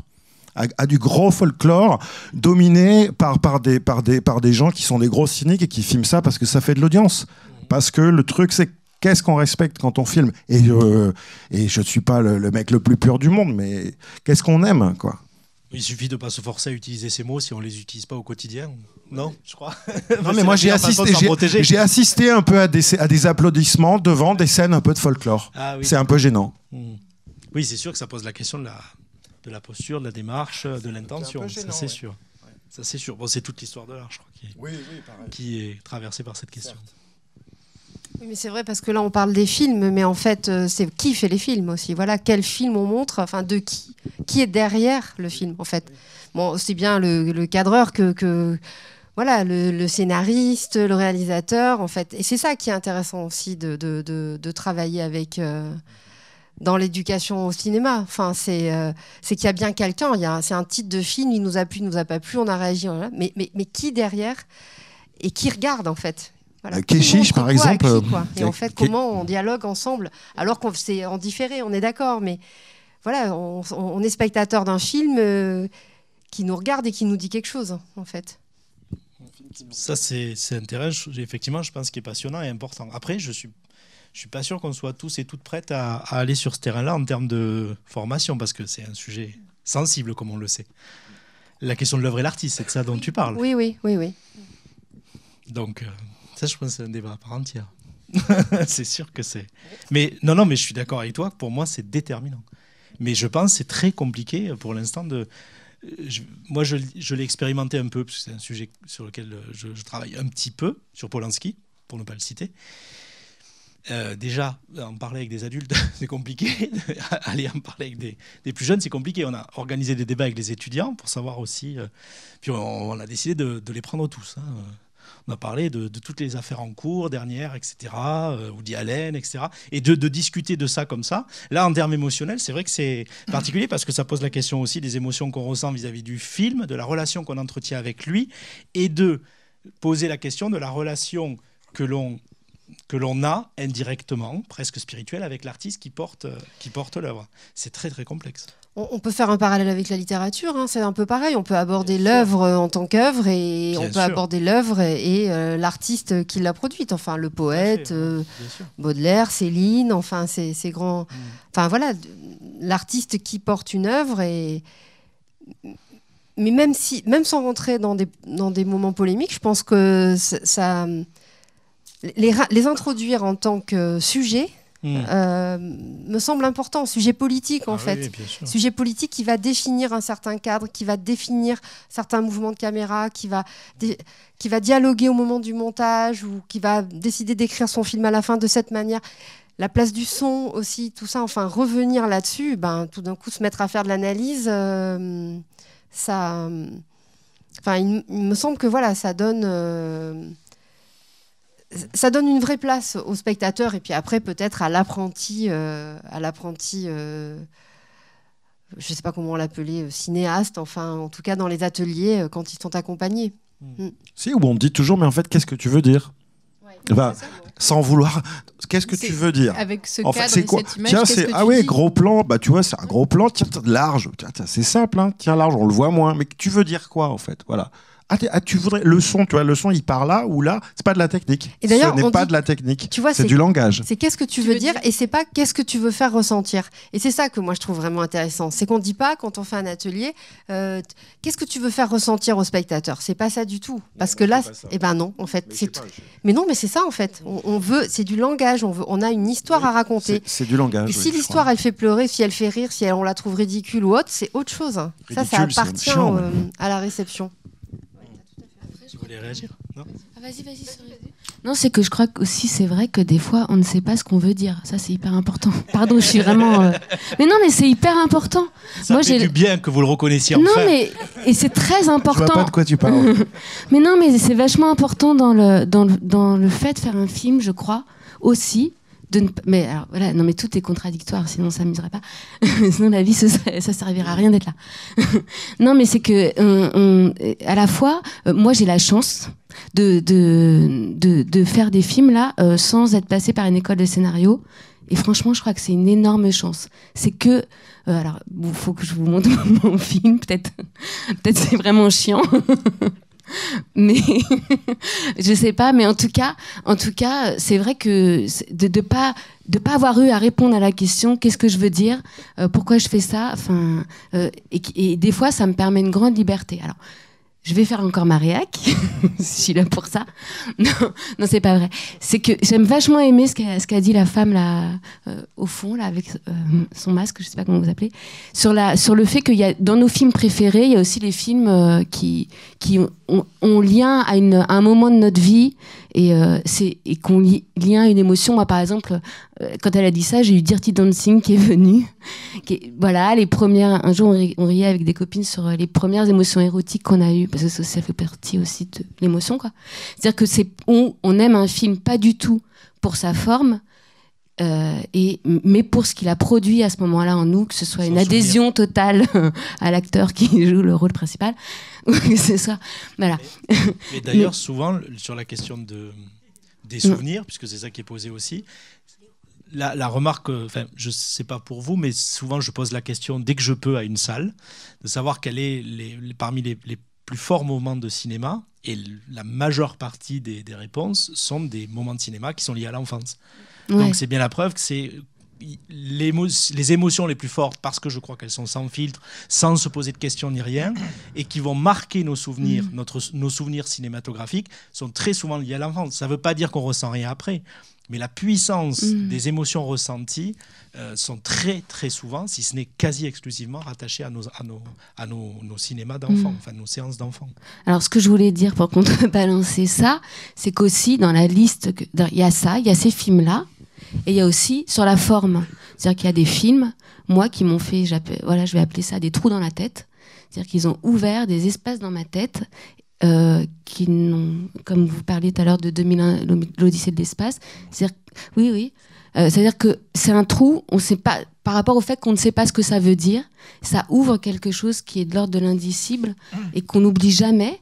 Et pour moi, ça, c'est les grands films. Donc, il y a les films que j'aime, euh, où je vais euh, kiffer l'acteur, ou je sais pas, n'importe quoi.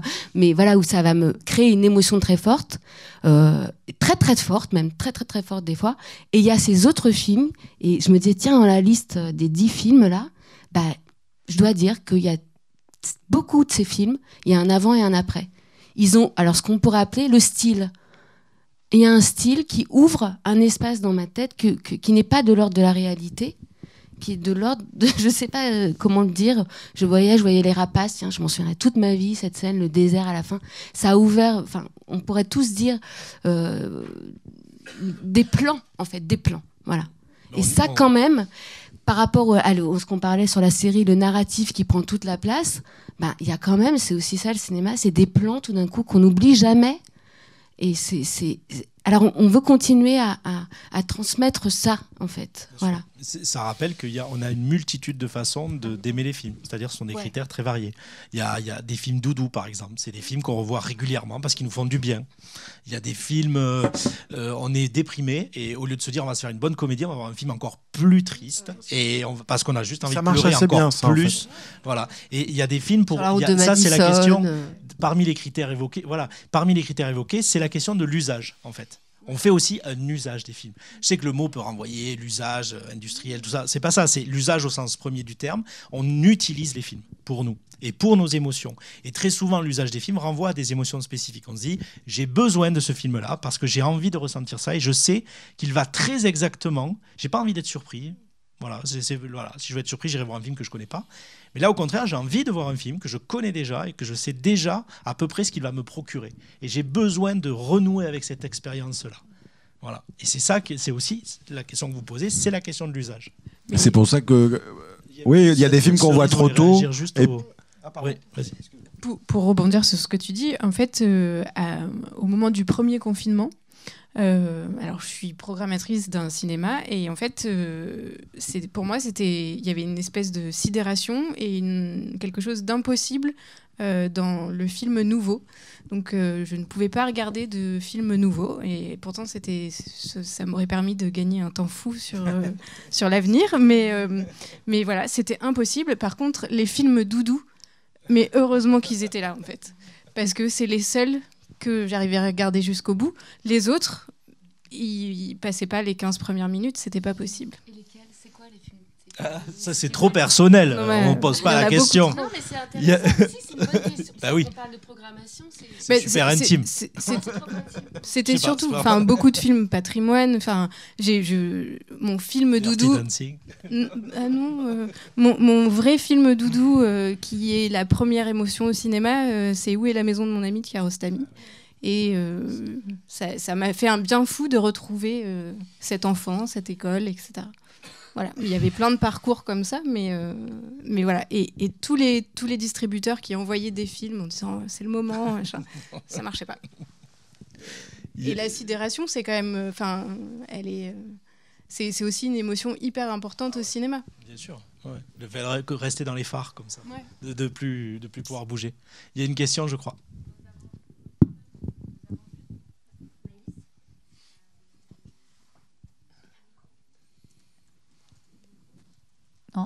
Oui, c'est bon.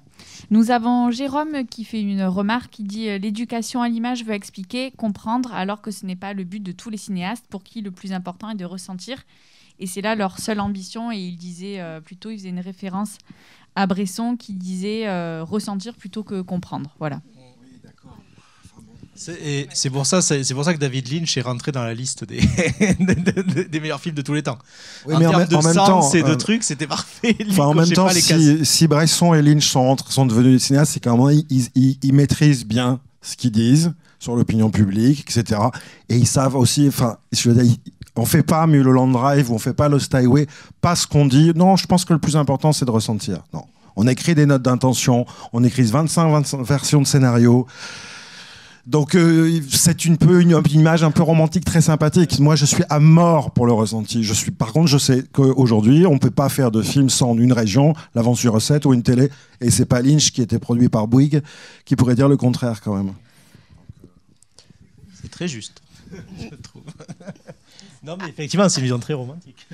Après, la, question des, sensations, euh, finalement, elle a pas. Enfin, c'est assez récent qu'on en. Enfin, c'est ce qu'on disait au départ, hein, euh, que ça revienne au devant de la scène. Hein. C'est vrai que euh, on a été formé. Enfin, là, je parle pour les enseignants, beaucoup à. Et puis c'est toujours, euh, c'est mmh. toujours mal perçu à décortiquer les films. C'est pareil pour analyser un tableau. Enfin, c'est un vieux débat, donc moi j'ai pas, je vais pas m'attarder, là-dessus parce que ça, ça n'a, plus de sens parce qu'on sait justement tout le, tout le plaisir du ressenti qu'on peut avoir à à analyser euh, un plan, ne serait-ce que et, ce que ça peut procurer. Donc euh, ça, euh, j'en suis plus que convaincue. Mais, mais c'est vrai que sensation et ressenti, c'est toujours. On, le met du côté de l'intime, donc surtout pas du côté de l'école. Ça, on est d'accord. Et après, effectivement, on tombe dans le vieux débat du sens. Et, ça, je pense, c'est très très juste. mais c'est hein, dommage que ça s'oppose, que ça s'oppose en permanence en fait. Ça, c'est vraiment dommage. En fait, on pourrait euh, dépasser un peu. Enfin, du coup, moi, j'essaie oui, de dire, aussi, tiens, c'est pas incompatible quoi. C'est moi par exemple on me dit ah mais non mais toi tu regardes les, films d'un truc technique mais jamais jamais je, sais pas brancher une caméra jamais c'est un truc de c'est du style c'est du langage voilà comment on regarde un film avec que du ressenti. Et puis, euh, bon, il y, a une part aussi euh, à laquelle on est confronté, nous euh, aussi, hein, c'est les films mémoire, en fait, hein, ce qui va apporter témoignage. Et quand. Enfin. moi, j'ai été très très marquée par un film que j'avais pas vu au cinéma, que j'avais vu au lycée, et qui est, et c'est toujours le cas. Enfin, Nuit et brouillard d'Alain René, euh, donc il y a un propos, on est d'accord, il est là, mais il y a une certaine manière de, dire, euh, de dire les camps. Euh, et il y a d'autres films comme ça qu'on montre aux élèves. Il y a des films sur la guerre 14, enfin Les Sentiers de la gloire de Kubrick, pour revenir à Kubrick. C'est des films qui sont montrés par des enseignants d'histoire ou, ou, autres, hein, ou dans des ciné-clubs. et là, il se passe quelque chose aussi il y a de l'émotion, même si on est sur, euh, sur un contenu euh, devoir de mémoire, témoignage, documenter euh, l'histoire. Après, il y a documenter le réel, ce qui est encore autre chose. Mais comment on témoigne d'un événement ou d'une émotion, ça, ça, a sa place aussi. C'est pour pardon, mais c'est vrai. Et du coup, c'est pour ça que je réagis un peu vivement sur une image comme ça, un peu d'épinal de sur mon rocher, j'écris un film. Bah, tu l'écris, tu le tournes pas, quoi. Mais et, je pense que ces choses-là, l'émotion, justement, ça, unit les contraires qui ont des choses qu'a priori on, oppose. Et euh, moi, je pense que aimer et comprendre, John Ford, par exemple, je crois qu'il y a un truc qui dit tiens, on comprend pour mieux aimer, on aime pour mieux comprendre. Pas mal. Pas mal pour euh, transmettre, euh, partager. voilà. Après, je pense que pour revenir sur la question, je pense qu'effectivement, c'est très important de rappeler que derrière un film, même si on est vraiment sur les émotions, etc. Il y, a, il y, a, un vrai système de financement, que ce soit à Hollywood ou en France. Moi, je suis que ça. Voilà, et je pense que c'est très important de le rappeler. Après, peut-être ce qui, est, ce qui, je pense qu'il voulait aussi être suggéré, c'est, c'est la question de juste ressentir sans vouloir expliquer derrière. Oui, c'est ça. Et je pense que c'est parce que vous voulez dire, tiens, un film n'est pas forcément un discours. Tout Absolument, tout à fait d'accord. Et je pense même peut-être, pour mettre un peu les pieds dans le plat, qu'on peut parfois même gâcher certains films euh, en, allant vers une explication. Alors, il y a en plus les, des réalisateurs ou des réalisatrices qui jouent le jeu de, refuser toute explication, ben, comme David Lynch, comme Christopher Nolan aussi, par exemple. C'est intéressant parce que Nolan, c'est quelqu'un qui est très vu, euh, qui, qui, est vu par euh, vraiment un spectre de, spectateurs et de spectatrices très très large, et qui refuse d'expliquer ses films, euh, qui peut être ambigu sur le plan politique, etc., et qui prend un malin plaisir à refuser de se positionner dessus. Bon. Donc ça, déjà, c'est une première chose. Mais à l'inverse, on peut, on peut regretter qu'il est pas forcément l'artiste lui-même, mais on a tellement écrit sur lui, on a tellement fouillé sur sa vie, etc., que presque on est, on est obligé d'avoir certaines informations qui font qu'on ne, qu'on ne peut plus... Alors, la, la question, c'est que c'est quelque chose, je me permets de réagir dessus, là, cette fois-ci, en tant que enseignants face aux étudiants, c'est la question qu'ils posent souvent, en fait. Euh, le cours d'analyse filmique de première année, c'est toujours la question est-ce qu'on remonte à l'intention du, réalisateur? J'ai dit c'est possible, c'est une possibilité, mais il y a aussi juste le fait de partir uniquement des émotions du film. Donc on construit euh, une, méthode d'analyse filmique qui n'est pas la seule, il choisit celle qu'il préfère, de dire voilà, je vais essayer de savoir ce que le réalisateur a voulu dire. Je dis ok, mais c'est quand même un gros boulot quand même, parce que si vous voulez vraiment aller là-dessus, il va falloir faire des recherches quand même, essayer de voir, euh, voilà, si vous voulez vraiment aller sur le terrain, d'accord. Mais sinon, vous pouvez partir juste du film. Vous dites qu'est-ce que j'ai ressenti et comment j'en suis venu à ressentir ça? Réponse par des éléments de mise en scène, de montage, et vous décortiquez, vous me faites une, analyse. Et donc, euh, mais ce qui ressort de ça, c'est qu'il y a une vraie frustration, encore une émotion, c'est-à-dire de dire, bah mais en même temps, je saurais jamais si c'est vraiment ce qu'il a voulu dire. Je dis, mais est-ce que c'est vraiment un problème? Est-ce que ça vous empêche d'apprécier le film, de ne pas savoir si c'est vraiment ce qu'il a voulu dire Et que dans cette scène que vous avez choisi d'analyser, qui vous touche, euh, vous êtes censé ressentir ça, s'il faut, c'est pas ce qu'il avait prévu. Mais vous voulez le savoir, vous voulez casser ce mystère-là, parce qu'une fois que vous aurez la réponse, vous ne pourrez plus faire machine arrière. Si en plus le réalisateur il voulait vraiment dire quelque chose, il ferait pas de mise en scène. Sans doute, en, plus. Parce qu'il faut accepter d'être Parce que sinon, il l'expliquerait. Donc, ça dépasse l'explication. Il faut accepter d'être mal compris. Ah oui, euh, aussi, ça fait partie du jeu. Et donc, je prends toujours la, même métaphore qui leur, qui, leur, parle globalement. En tout cas, c'est toujours se dire voilà, vous imaginez qu'il y a quelqu'un qui vous offre un Lego. Un Lego, c'est super, ça fait plaisir. Vous prenez un Lego et vous en tirez beaucoup de plaisir, puis vous commencez à le construire. Et puis vous commencez à construire le Lego. Et puis en cours de route, il y a quelqu'un qui vient vous voir et qui dit Je peux t'aider à construire ton Lego? Et on sait très bien qu'une fois que le Lego il est monté, il n'a plus aucun intérêt, à part le mettre sur une étagère pour qu'il prenne la poussière. Le but, c'est de le monter. Et soit vous acceptez de, partager ce moment, parce que moi, personnellement, était hors de question qu'on monte un Lego avec moi, soit vous faites votre Lego tout seul. Bien sûr, vous l'avez compris, celui qui vient vous, vous taper sur l'épaule, c'est l'artiste. Et donc, c'est de se dire, laisse-moi construire mon Lego tout seul.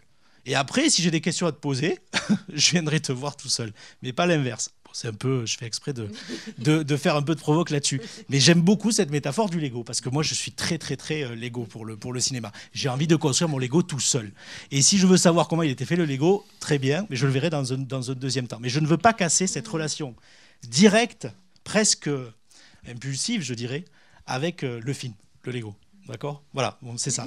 Et je voulais juste terminer sur la question de l'analyse filmique la question de l'analyse filmique, j'avoue moi-même une contradiction par rapport à ce que tu disais sur, sur ce, paradoxe, c'est-à-dire de dire il faut valoriser les émotions, et dans un cadre d'analyse filmique, où est-ce qu'on les met?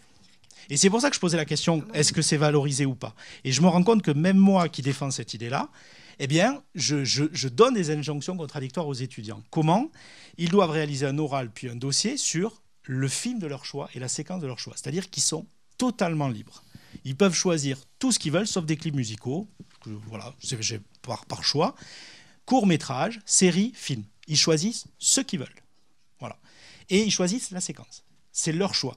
Et j'ai tendance à leur dire, ne prenez pas le film que vous aimez le plus. Ne prenez pas votre top 1, votre top 5 des films de tous les temps, parce que au moment où vous allez vouloir l'analyser, soit vous allez avoir du mal à prendre du recul sur ce film-là, parce que vous l'aimez trop, presque, j'ai envie de pas trop, on n'aime jamais trop, je crois, enfin si peut-être, je sais pas. Euh, bref, soit, soit vous allez fragiliser, voire casser le lien qui vous unit à ce film, parce que vous allez un petit peu en tirer les différentes ficelles. Et moi, je prends toujours le même exemple. Un des films les plus importants pour moi, c'est Alien. Et Alien, je me suis toujours refusé de l'analyser. Bon, les étudiants commencent à le faire pour moi, donc je suis un peu coincé. Donc je commence un peu à perdre ce truc-là. Et je commence à analyser Alien contre mon gré. Mais je me suis toujours refusé de le faire. Maintenant, je peux plus, mais voilà. Donc je me rends compte que même moi, je suis dans cette contradiction-là et que je leur donne des injonctions contradictoires dans ce type d'exercice.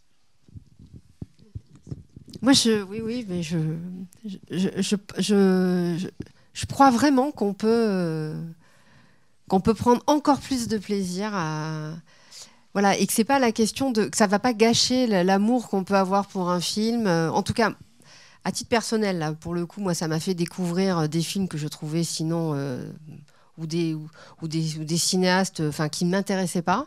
Mais finalement, alors là, c'était dans, une autre dans une autre dimension. En tous les cas, pour pour les pour les jeunes, je, je, je crois que ça apporte davantage de plaisir, oui, vraiment, parce que au départ, c'est un peu ingrat. Euh, on se dit ah oui, mais c'est vraiment le premier réflexe. Mais ça, ça n'a pas changé. C'est toujours pareil. On est sur des, des, Enfin, il me semble avoir tout le temps entendu cette, cette remarque que qu'on va qu'on va y, on va y perdre quelque chose. On, ça sera ça, mais sauf qu'en fait, euh, il est toujours à nous le film. De toute façon, le film, tout le monde le voit. Donc il n'y a que nous qui avons cette relation-là au film. Et euh, et quand bien même on le, on le, on, le donne à un autre en, en exposant une analyse, c'est comme quand on passe un oral. Enfin, Enfin, les auteurs restent les auteurs, Molière reste Molière, et pour autant, on, a, on prend toujours autant de plaisir à écouter euh, ou, à, ou, à, regarder une représentation de Racine. Enfin, là, je prends exprès de grands, enfin, mm. plus que des classiques. Je sais pas. Je... Non, mais au fond, je crois que je suis assez d'accord. Mais j'ai peur de casser. C'est par peur que je ne le fais pas. Mais dans les faits, je trouve que, le, jeu, le jeu vaut, vraiment, en vaut vraiment la chandelle. parce, que, parce que comme ça, on s'attarde et on prend du temps, en fait. Mm on prend du temps, je sais pas. Non, mais euh, je pense, je suis d'accord. J'avais peur de, j'avais peur de casser, tellement peur de casser certains liens avec des films que j'aime que je voulais pas prendre le risque. Mais je dois avouer qu'avec Alien, de plus en plus, j'ai beaucoup d'étudiants. C'est un film qui, qui traverse les générations. Chaque année, j'ai au moins une analyse de séquence sur Alien. C'est pas moi qui leur souffle l'idée. Et du coup, euh, j'ai commencé à, apprendre des choses et des approches sur le film que je connaissais pas. Et ça me fait beaucoup plus, encore plus aimer le film. Donc je commence à être rassuré. Ça dépend peut-être. Ça pose la question aussi du moment où on le fait, le temps qui passe après. Parce que moi, je sais que maintenant, je revois par exemple pour la troisième ou quatrième fois certains films et que du coup, en 20 ans, 30 ans, 40 ans, 50 ans, l'émotion n'est plus la même. Ça, c'est hyper euh, intéressant, un peu, sur soi. Ça rejoint un peu le moment où on voit les films. Donc moi, j'ai vu euh, très très tôt 2001 l'Odyssée de l'espace au point où ça m'a renversé physiquement et que comme toi sur la règle du jeu, j'ai toujours, euh, paraît-il que c'est un truc sublime. Évidemment, j'ai cru comprendre qu'il y avait des trucs un peu lourds dans le film, mais j'ai eu un peu de mal, et puis jusqu'à ce que, jusqu'à ce que ça se libère. Mais donc, bref, je, pour en revenir aux émotions, c'est cette histoire du temps, et je trouve qu'il y a un truc intéressant vis-à-vis de peut-être, non pas que le jeune public, mais le public, c'est la notion des sucres rapides et des sucres lents, en fait. Voilà. C'est-à-dire la fulgurance, la fulgurance de, de, de l'émotion euh, qui nous tombe dessus donc dans un temps très court, ou alors ou alors peut-être, tiens, c'est plus diffus, c'est même peut-être pas vraiment conscient. Et ça vient petit à petit, et, pardon la métaphore, ça nourrit vraiment l'émotion, ça nourrit quoi. Donc, les sucres lents quoi. Et, je pense que le temps va, va, aussi nous permettent d'identifier, de, définir les films qu'il ne faut pas revoir. Aussi. Oui, oui, absolument. Et ça, absolument, ça, ça revient absolument, c'est vrai. Il y a des films qui sont encore plus sujets à ça, souvent c'est les, comédies, j'ai remarqué, c'est-à-dire que des comédies qui nous plaisent énormément quand on était enfant, ado, qui nous faisaient mourir de rire, il faut surtout pas les revoir, surtout pas. c'est voilà. Donc euh, même même du très grand, je me souviens d'une déception d'un fan de Mel Brooks, film d'enfance, euh, Frankenstein Junior, bon, quand même Mel Brooks, soit excellent projection avec tous ses amis, il y tient quand même. Hein, parce qu'il dans l'acte de programmation, on en a un peu parlé, ça, mais il y a aussi le fait de se mettre un peu à nu. Hein. Mm. Bon, vous, c'est votre travail pour le coup, les, exploitants, mais quand nous, on le fait pour les autres, c'est quand même, on se dit, je vais te montrer un film, tu vas voir, c'est super. réaction, euh, néant, pas, pas, un rire ni rien. Moi, je me souviens d'un traumatisme, Monty Python Sacré Graal, qui mm. ne fait pas partie de ces films à pas revoir, ça ne prend pas une ride, bien entendu, mais d'un traumatisme. Cours d'anglais, la prof d'anglais qui dit Ah, mais oui, très bonne idée de voir euh, Monty Python Sacré Graal. Sur ma proposition, un camarade et moi qui étions fans. Organisation de la projection dans le cours d'anglais. Mais, ah, mais le bide, mais le néant. Ah, non, mais pas seulement. Attention, d'abord, le bide et le néant. On était au fond de la, de la salle, on s'était quand même caché un peu, on sentait le truc arriver. Et il y en avait qui se retournaient pendant la projection en nous jetant des regards, mais voilà. Non, mais il y a des trucs, c'est ça. tu vis des moments de solitude. Qu'est-ce que vous avez fait? Qu'est-ce que vous nous avez fait? Donc, euh, euh, la programmation aussi, c'est une, vraiment une intimité. On se met à nu, hein, quand même. Sur, euh, là, quand on porte un film, on dit allez-y, etc. voilà. Bah et que la réaction, ça, c'est terrible. Mhm. C'est terrible et très formateur. C'est intéressant sur la prise de risque. C'est la question que je voulais poser tout à l'heure à ce risque. Euh, oui, et de savoir si des fois vous proposez aux élèves, eux, de programmer des films. Parce que je trouvais, parce que c'est vrai que c'est la prise de risque de dire, bah moi j'aime ça pour, enfin voilà. Pardon. Oh, oui, on le propose. Après, c'est toujours très encadré quand même. Mais euh... non, non, non. Après, après, c'est vraiment, enfin, nous. On on porte un atelier de programmation justement euh, avec euh, dans un PEAC, euh, donc pour des primaires et donc sur du court métrage, voilà. Et ils voient une quinzaine de films, ils en discutent et ils doivent en choisir trois. Donc là, c'est mais c'est il y a quand même un cadre avec une, une thématique, etc. Enfin, c'est quand même parce que c'est quand même pas simple la programmation en soi la, construction d'un parcours, etc. Mais euh, oui, on essaye de le faire. Mais c'est justement dans l'idée aussi qui s'approprie le lieu. Euh, euh, ça, existe aussi. Il y a, un, dispositif qui s'appelle Cameo en Gironde, voilà, qui en fait travaille avec des jeunes montre des films qui actuellement sortent en salle et après s'emparent de ces films et sont ambassadeurs. Oui, c'est ça. Voilà, c'est le même principe. Voilà, c'est pour ça que je, prends le relais et c'est vraiment intéressant parce que c'est peut-être ça aussi qu'il faudra arriver à faire, c'est-à-dire entre les générations de euh, de cinéphiles, enseignants cinéphiles, enseignants pas cinéphiles, mais comment on dialogue avec la jeunesse qui voit des films, qui aimerait peut-être en parler, mais qui savent pas comment en parler. Et euh, là, il me semble, il me semble qu'avec ce dispositif, on, est peut-être sur un premier pas, ou alors avec des, plus jeunes, pour peut-être aussi euh, euh, laisser entrer ce, que regarde, ce que regarde la jeunesse, en fait. les films qu'ils ont particulièrement aimés, là par exemple, enfin, Playlist, hein, et qui vient de sortir, me semble-t-il, est un film qui plaît à la jeunesse. Comment est-ce qu'ils sont capables d'en parler? Est-ce qu'ils ont envie d'en parler ou seulement le garder pour leur génération? Euh, moi, je trouve ça intéressant. En tout cas, pour, euh, pour les enseignants, ça sera aussi important parce que tant qu'on n'aura pas, euh, enfin, tant qu'on n'aura pas, non, c'est ridicule de, le formuler ainsi, mais cette question, parce qu'elle est présente, la frontière entre le prof, le cadre, le film d'école, et après, s'imaginer que le prof, il va avoir d'autres films aussi et qu'il ne partage pas non plus. Est-ce qu'on partage, nous, finalement, adultes, les films que l'on va voir pourquoi on les partage pas? Alors évidemment, selon les publics, c'est pas possible, mais euh, peut-être qu'il y a des films qui, se prêtent à ça mm. et, à, ou et à donner la parole aux, jeunes. Alors je sais que, ça, ce, que dans lycéen et apprenti au cinéma, c'est une vraie dynamique. Hein. C'est-à-dire de... Parce que c'est plus facile de donner euh, la parole... Euh, bon, à, des, à, des, à, des, à bientôt de jeunes adultes.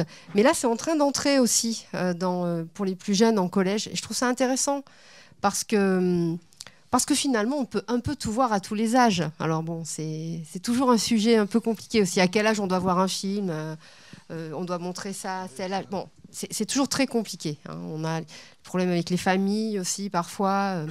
mais, mais si c'est les jeunes qui s'en emparent, en tout cas au moins pour les sorties, et puis peut-être écouter ce qu'ils ont à dire sur les blockbusters par exemple. Voilà. Et en plus, ça raconte quand même socialement un truc. C'est on lit dire, bon d'accord, que c'est pas bien, mais mm. au-delà du c'est pas mm. bien, si toute la jeunesse mm. trouve que ça c'est bien, bah quand même, faut, faut regarder. Bah oui. faut regarder. ça raconte un truc. Et oui, je pense aussi le, le, le, cinéma, c'est aussi du, spectacle. Et le spectacle, ça se mesure aussi par, par le public qui va le voir bah aussi. vraiment. Ça ne veut pas dire que tout est bon non plus.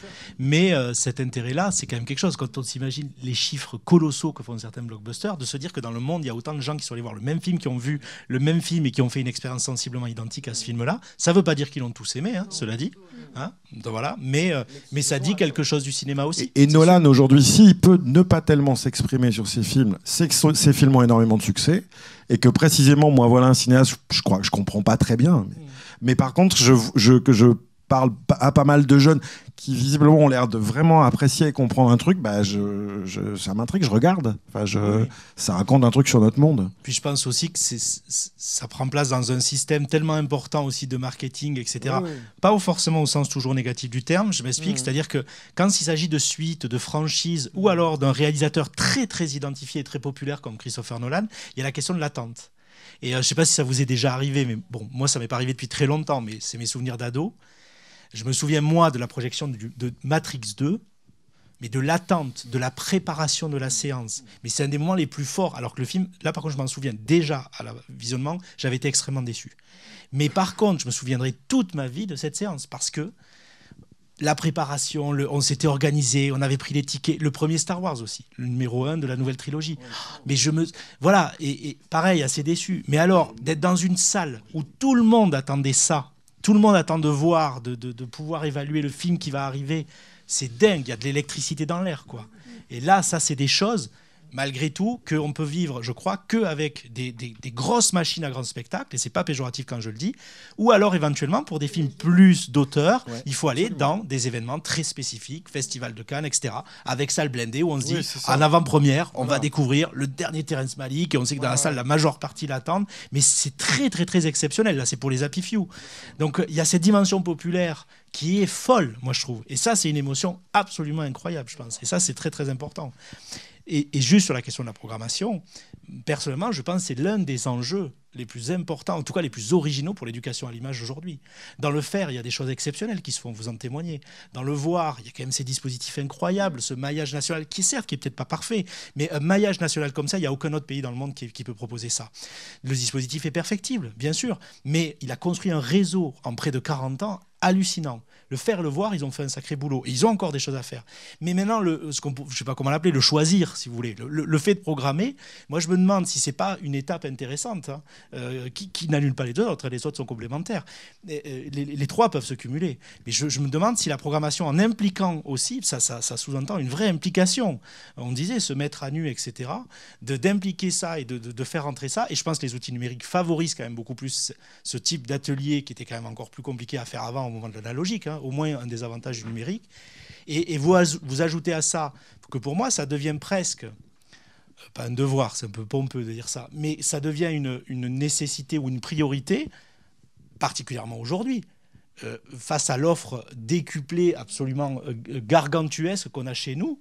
Et on est tous, et là je ne parle pas que des jeunes publics, nous aussi, je pense qu'on est tous complètement déstabilisés par l'offre auquel on a accès quand on passe plus de temps à choisir un film sur Netflix que la durée du film en lui-même, c'est que nous-mêmes, on n'arrive pas à gérer cette offre exponentielle. Donc si même nous, on n'y arrive pas, alors qu'on est quand même des professionnels de l'image, je ne crois pas être le seul dans cette salle à avoir du mal à choisir mon film euh, sur Netflix ou sur d'autres offres, je me dis, qu'est-ce qu'il en est d'un public euh, lambda, entre guillemets? Donc je pense que la programmation, effectivement, comme vous dites, c'est qu'il y a des choses incroyables déjà qu'on voit qui se mettent en place. Et je pense qu'on est au début de, quelque chose qui peut être très très prometteur. Mais je pense aussi que le, finalement le, la, pandémie, elle a elle n'a pas modifié les problématiques, elle a juste raccourci le mmh. temps de réflexion et qu'il faut mmh. mettre les choses en place euh, tout de suite. Ouais. Et là, je pense que les exploitants jouent un rôle déterminant parce que le savoir-faire du programmateur et de la programmatrice, c'est d'abord les exploitants. Il y a une question, je crois. Ce sera, oui, je vais monter pour la question. Et là, j'en profite pour vous dire que la, la, journée se termine. Donc, on va passer aux dernières questions dans la salle et, euh, et sur, le, sur les écrans. Et puis, euh, vous aussi, vos dernières remarques aux, aux impressions. Donc, préparez-vous. Attention. Émotion. Euh, Léo, je crois que vous avez évoqué un truc hyper important, c'est le désir et les fantasmes qu'on a des films, parce qu'il y a des films qui sont hyper cotés, Citizen Kane, mauvaise expérience, parce qu'on fantasmait pas autant qu'on ne l'a lancé en fait. Il y a des films sur lesquels on a peu d'enjeux et on passe un très bon moment parce qu'on n'a pas mis la barre très très haute. Et euh, moi, je, suis, je travaille pour un festival de court métrage à Clermont et on, nous sollicite souvent. Euh, pour demander quels sont les critères de sélection, c'est une question mm, qui n'a pas de sens parce qu'on n'a aucun critère et ça dépend du, ressenti personnel. Et moi, je détourne la question en disant qu'est-ce qu'un bon film en fait? Et je commence toujours ma conférence par 40 euh, ans toujours plus haut parce que la première séquence du film, elle donne clairement les objectifs du film, et on n'est pas déçu en regardant le film parce que la première séquence répond aux objectifs et le film tient sa ligne et on passe un très bon moment, parce que l'attente qu'on a par rapport au film, euh, on l'a calibré tout de suite et c'est très très clair en fait. Et cette question du fantasme en fait du film, elle est, elle est fondamentale pour moi. Euh, et, je trouve qu'il y a même un, truc du ressenti sur euh, quand on survend des films ou quand on conseille des films ou des livres à des gens, des disques, on en, dit trop, c'est génial. Il y a toujours une déception des gens parce qu'on a mis la barre trop haute. Et je trouve que ça dépend vraiment de la façon dont on fantasme, ou on a ce désir du film, parce que si on en vend trop, trop fort, et on est un peu déçu en fait. Du coup, faut pas trop en dire parce qu'il faut laisser aussi les gens s'approprier de ça. Je trouve qu'il y a un désir secret en fait, euh, il y a un truc un peu privé garder pour soi un des plus, gros souvenirs de cinéma qu'on a sans doute, c'est quand on découvre un truc qu'on s'attendait pas du tout et on est en transe, quoi. Découvrir un bel attar ou des choses comme ça. Tout est personnel, mais on a une vraie surprise et c'est quelque chose de très fort parce qu'on s'attendait pas du tout à ça. Je trouve que c'est les plaisirs plus forts parce que l'attente, elle est, elle est pas si forte que ça et du coup, on a une vraie surprise. Et je trouve qu'il y a un truc vraiment personnel et un peu un secret. On découvre un truc comme un secret, on a l'impression que c'était pour nous en fait et c'était vraiment un cadeau.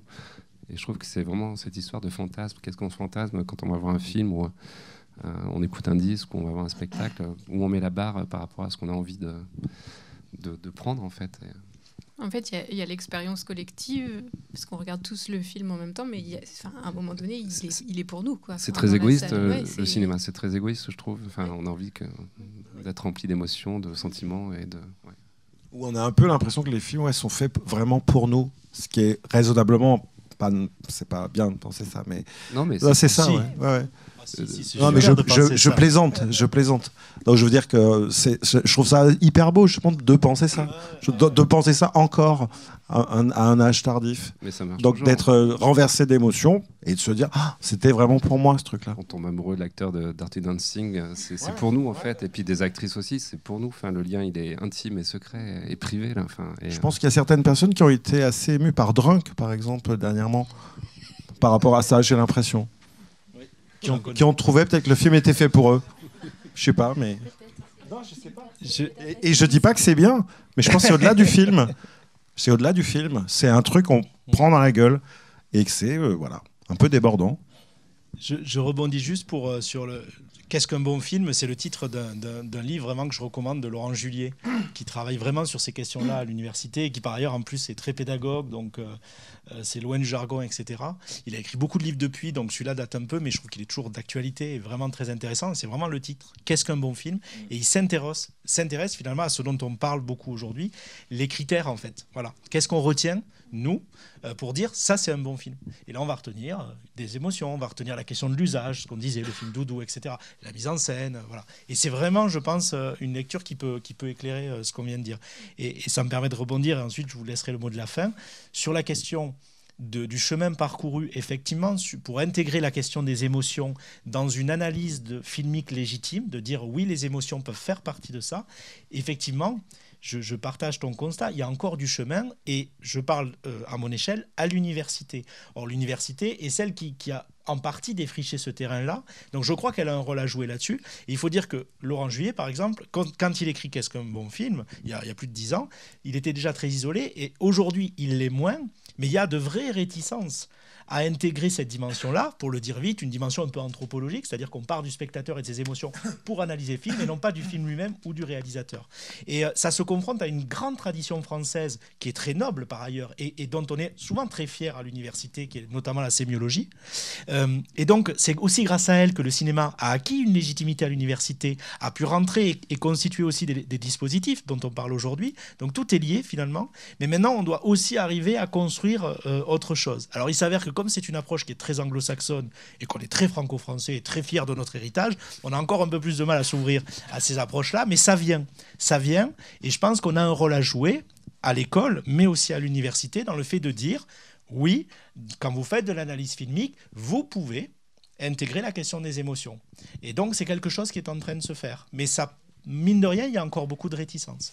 Alain Bargala, ça fait un petit moment voilà, qu'il travaille euh, cette question. Euh, de manière euh, très approfondie avec euh, voilà donc le dispositif 100 ans de jeunesse euh, a, vraiment vraiment fait des, choses remarquables. Et aussi je tiens à le dire quand même aussi dans la formation des enseignants la formation des intervenants avec les enseignants en fait aussi. Comme ça en binôme. C'est important aussi d'imaginer un dispositif où on, travaille ensemble c'est-à-dire alors qu'on n'a pas les mêmes missions on n'a pas les mêmes et on ne marche pas sur les plates-bandes de l'autre. Euh, voilà, je, trouve que et ça sera bien que lui l'a vraiment intégré, il me semble, euh, depuis longtemps. Enfin, lui et, le dispositif qui, continue, enfin qui a continué, euh, voilà, à travers après ses formations à lui.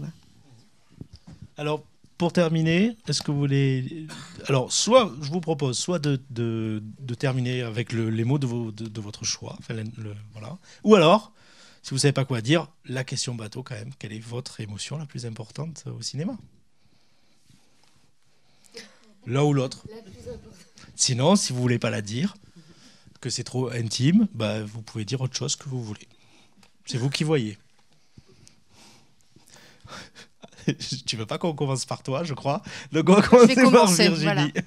Euh, on a parlé tout à l'heure de, Drunk. Euh, et euh, moi, j'ai vu quatre fois un film dans lequel Matt Mikkelsen joue, qui s'appelle Michael Colas, et ça correspond exactement avec ce que vous disiez, c'est-à-dire que quand je vais voir Michael Colas, je ne sais pas ce que je vais voir, mais par contre, je vais voir Matt Mikkelsen, voilà. Et parce que vraiment cet acte, et là, je pense que ce film de d'Arnaud Despalières, donc là, je suis plus et en même temps, c'est quand même le film dans lequel l'acteur, pour moi, euh, Mats Mikkelsen, euh, que ce soit qu'il soit accompagné par Winterberg ou Arnaud Despalières, enfin, il y a bien, quelque chose du côté de ce jeu d'acteur. En tout cas, ce film-là, moi, euh, Michael Colas, je ne sais pas pourquoi, je, l'ai revu quatre fois en deux semaines, je voulais dire, hein, parce qu'après. je l'ai acheté en DVD, mais je suis retournée voir ce film quatre fois. Je ne suis pas tout à fait en capacité de dire pourquoi. Bon, je pense que ça a à voir avec quand même la question de faire justice.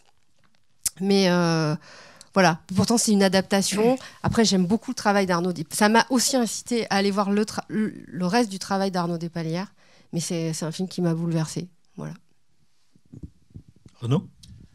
Euh, alors moi, j'ai dans les années 90, donc j'ai découvert Où est la maison de mon ami, puis le deuxième qui est euh, L'homme en voiture qui recherche les enfants, et La vie continue. Et euh, le troisième film qui est Au travers des Oliviers, voilà, c'est ces trois films que Kiarostami a fait avant qu'on lui donne une palme d'or, mais où en fait les films étaient presque meilleurs avant. Et euh, c'est un moment où, dans l'âge que j'avais et dans les films que j'ai vus venant d'une contrée lointaine, je pense que depuis j'ai vu des bons films. C'est très bien, on voit des bons films, des très très bons films, j'ai des émotions. Mais là, il y avait une osmose entre ce, ce que pouvait être ma vie et le cinéma total, voilà. Donc ça, c'était assez émouvant. Et puis sinon, je... Et puis sinon, il y a un film que j'ai vu quatre ou cinq fois qui, pendant une heure, euh, montre des choses et dans, un rituel d'un repas de Noël et qui, du coup, ne dit pas peut-être les choses du fond, mais, mais d'une manière extrêmement élégante, chante et, et dit les choses de la surface. Et puis à la fin du film, une femme parle d'un amour de jeunesse. Et euh, le film s'appelle Légende du Blin. Et c'est le dernier film de John Huston. Et je vous le conseille. C'est une splendeur d'une heure euh, quinze. Donc voilà, c'est une splendeur totale. C'est le film le plus émouvant du monde. Laetitia bah, Moi déjà, je voulais, et c'est ce que je voulais dire en plus, c'est que là vous venez nous parler de deux films. Moi j'ai le cœur qui bat super fort. Pourtant il y en a trois que je n'ai pas vus, les trois que tu viens de citer. Et ça m'a rappelé Michael Collas, mon émotion, pour dire euh, toute cette discussion qu'on a eue, ça revient au texte que tu as montré là. C'est-à-dire que s'il savait ce qu'on met dans la projection qu'on donne, ben peut-être qu'il saurait que c'est cette rencontre qu'on espère. Et voilà, quoi. Là, euh, tout d'un coup, j'ai envie de rencontrer vachement ces films dont ils viennent de parler. C'est peut-être, euh, voilà, comment est-ce qu'on pourrait, quand on décide de transmettre des films, s'exposer, même si c'est pas grave, si ça marche ou ça marche pas, avec comme tu as fait avec tes Monty Python, mais je trouve c'est magnifique, quoi. Dire moi ça, ça me fait mourir de rire. Ah bah nous pas du tout. Mais en fait de s'exposer à, parler, euh, je vais être super, mais voilà avec son cœur, quoi, parce que c'est ça qui, c'est peut-être ça dont on parle là, quoi, d'où on parle en fait. Alors c'est bien, on est en train de se dire, en fait c'est quand on parle de là, voilà, on a envie, voilà. C'est ça que je voulais dire. Moi, ce qui me revient là, euh, comme émotion incroyable, c'est Misfits, c'est euh, Marilyn Monroe, euh, sur, dans, dans ce désert voilà, qui hurle son, son, son désespoir et son espoir infini, quoi que, euh, voilà. Vous avez compris quoi. Bah, moi, je ne vais pas revenir sur où est la maison de mon ami. que c'est en effet une très grande émotion. Euh, et voilà, c'est ça me fait plaisir que nous partagions cette émotion. Euh, non, peut-être juste euh, faire un constat sur l'éducation à l'image qui a encore euh, plein de champs à explorer et c'est plutôt très positif. c'est aussi enthousiasmant et enfin voilà, je pense que je suis une enfant de, des dispositifs scolaires puisque j'ai participé à l'expérimentation de, de école et cinéma. Et puis après, j'ai poursuivi dans les trois dispositifs euh, nationaux. Et, euh, et, je pense qu'il y a encore plein, plein de choses à vivre avec euh, à la fois ces dispositifs et puis d'autres choses à inventer. J'aimerais bien dire un truc. Je trouve ça marrant d'avoir parlé de, des chevaux sauvages par rapport à l'idée d'éducation, quoi. Voilà. Donc faisons en sorte à la fois d'éduquer et à la fois que les chevaux restent sauvages, quoi. Ça c'est sûr, c'est un peu le paradoxe. Hein. c'est les injonctions contradictoires de l'éducation nationale. Bah oui, c'est ça en fait. Mais bon, on voit bien que ça permet malgré tout. Euh, bah, ces contradictions n'empêchent pas les émotions d'éclore. Voilà, c'est, je pense que là-dessus qu'on pourra s'arrêter. Merci beaucoup. Et moi, voilà, moi je, vais, je voudrais terminer quand même par des, par des remerciements à, bah, au nom de, de, tout le pôle d'éducation aux images, donc de, de la FRMJC, des Yeux Verts et d'Alca, à, ben, à, vous, euh, à vous toutes et tous euh, ici qui avez accepté notre invitation, à vous qui êtes dans la salle et à vous qui êtes, qui êtes derrière les écrans. Et puis en profiter pour rappeler aussi, puisque bah, Cerise, Virginie, vous avez fait aussi le pont avec l'éducation aux images, que c'est effectivement une, une mission de ce, de, de ce nouveau pôle. de... c'est bon, je suis, je suis rentrée dans le cadre. que ça va être aussi une de missions, une des, missions de ce nouveau pôle d'éducation aux images que de proposer euh, des temps de formation communs. On en propose chacun déjà, euh, déjà séparément, mais des temps de formation qui permettent aussi de faire en sorte que euh, les enseignants, les animateurs, les éducateurs, les artistes intervenants puissent aussi avoir des temps de rencontres communs, les exploitants de salles. voilà, créer ces temps, ces temps d'échange qui, qui, existent un peu déjà, mais consolider ce, ce réseau-là et optimiser cette offre-là. imaginer aussi de nouvelles choses, de nouveaux possibles en termes d'éducation aux images. Donc voilà, c'est pour ça que tout ce, tout ce réseau est en train de se construire. Le site Imagina est là aussi pour recueillir vos avis, pour mettre en, exergue et en valeur tous les projets qui peuvent être menés sur le territoire. Donc voilà, donc merci à, toutes et tous d'avoir suivi cette, cette, cette journée entière. Et j'en profite pour vous rappeler également que demain matin, à partir de 9h30, il y a le, les, premières rencontres euh, du fil, donc le fil, qui est la publication, le fil des images qui est la publication nationale des pôles et qui vous propose demain le premier rendez-vous en ligne. Donc pour celles et ceux qui sont disponibles, même si vous n'êtes pas inscrit, il sera encore temps d'y participer demain. Voilà. Merci beaucoup à tout le monde.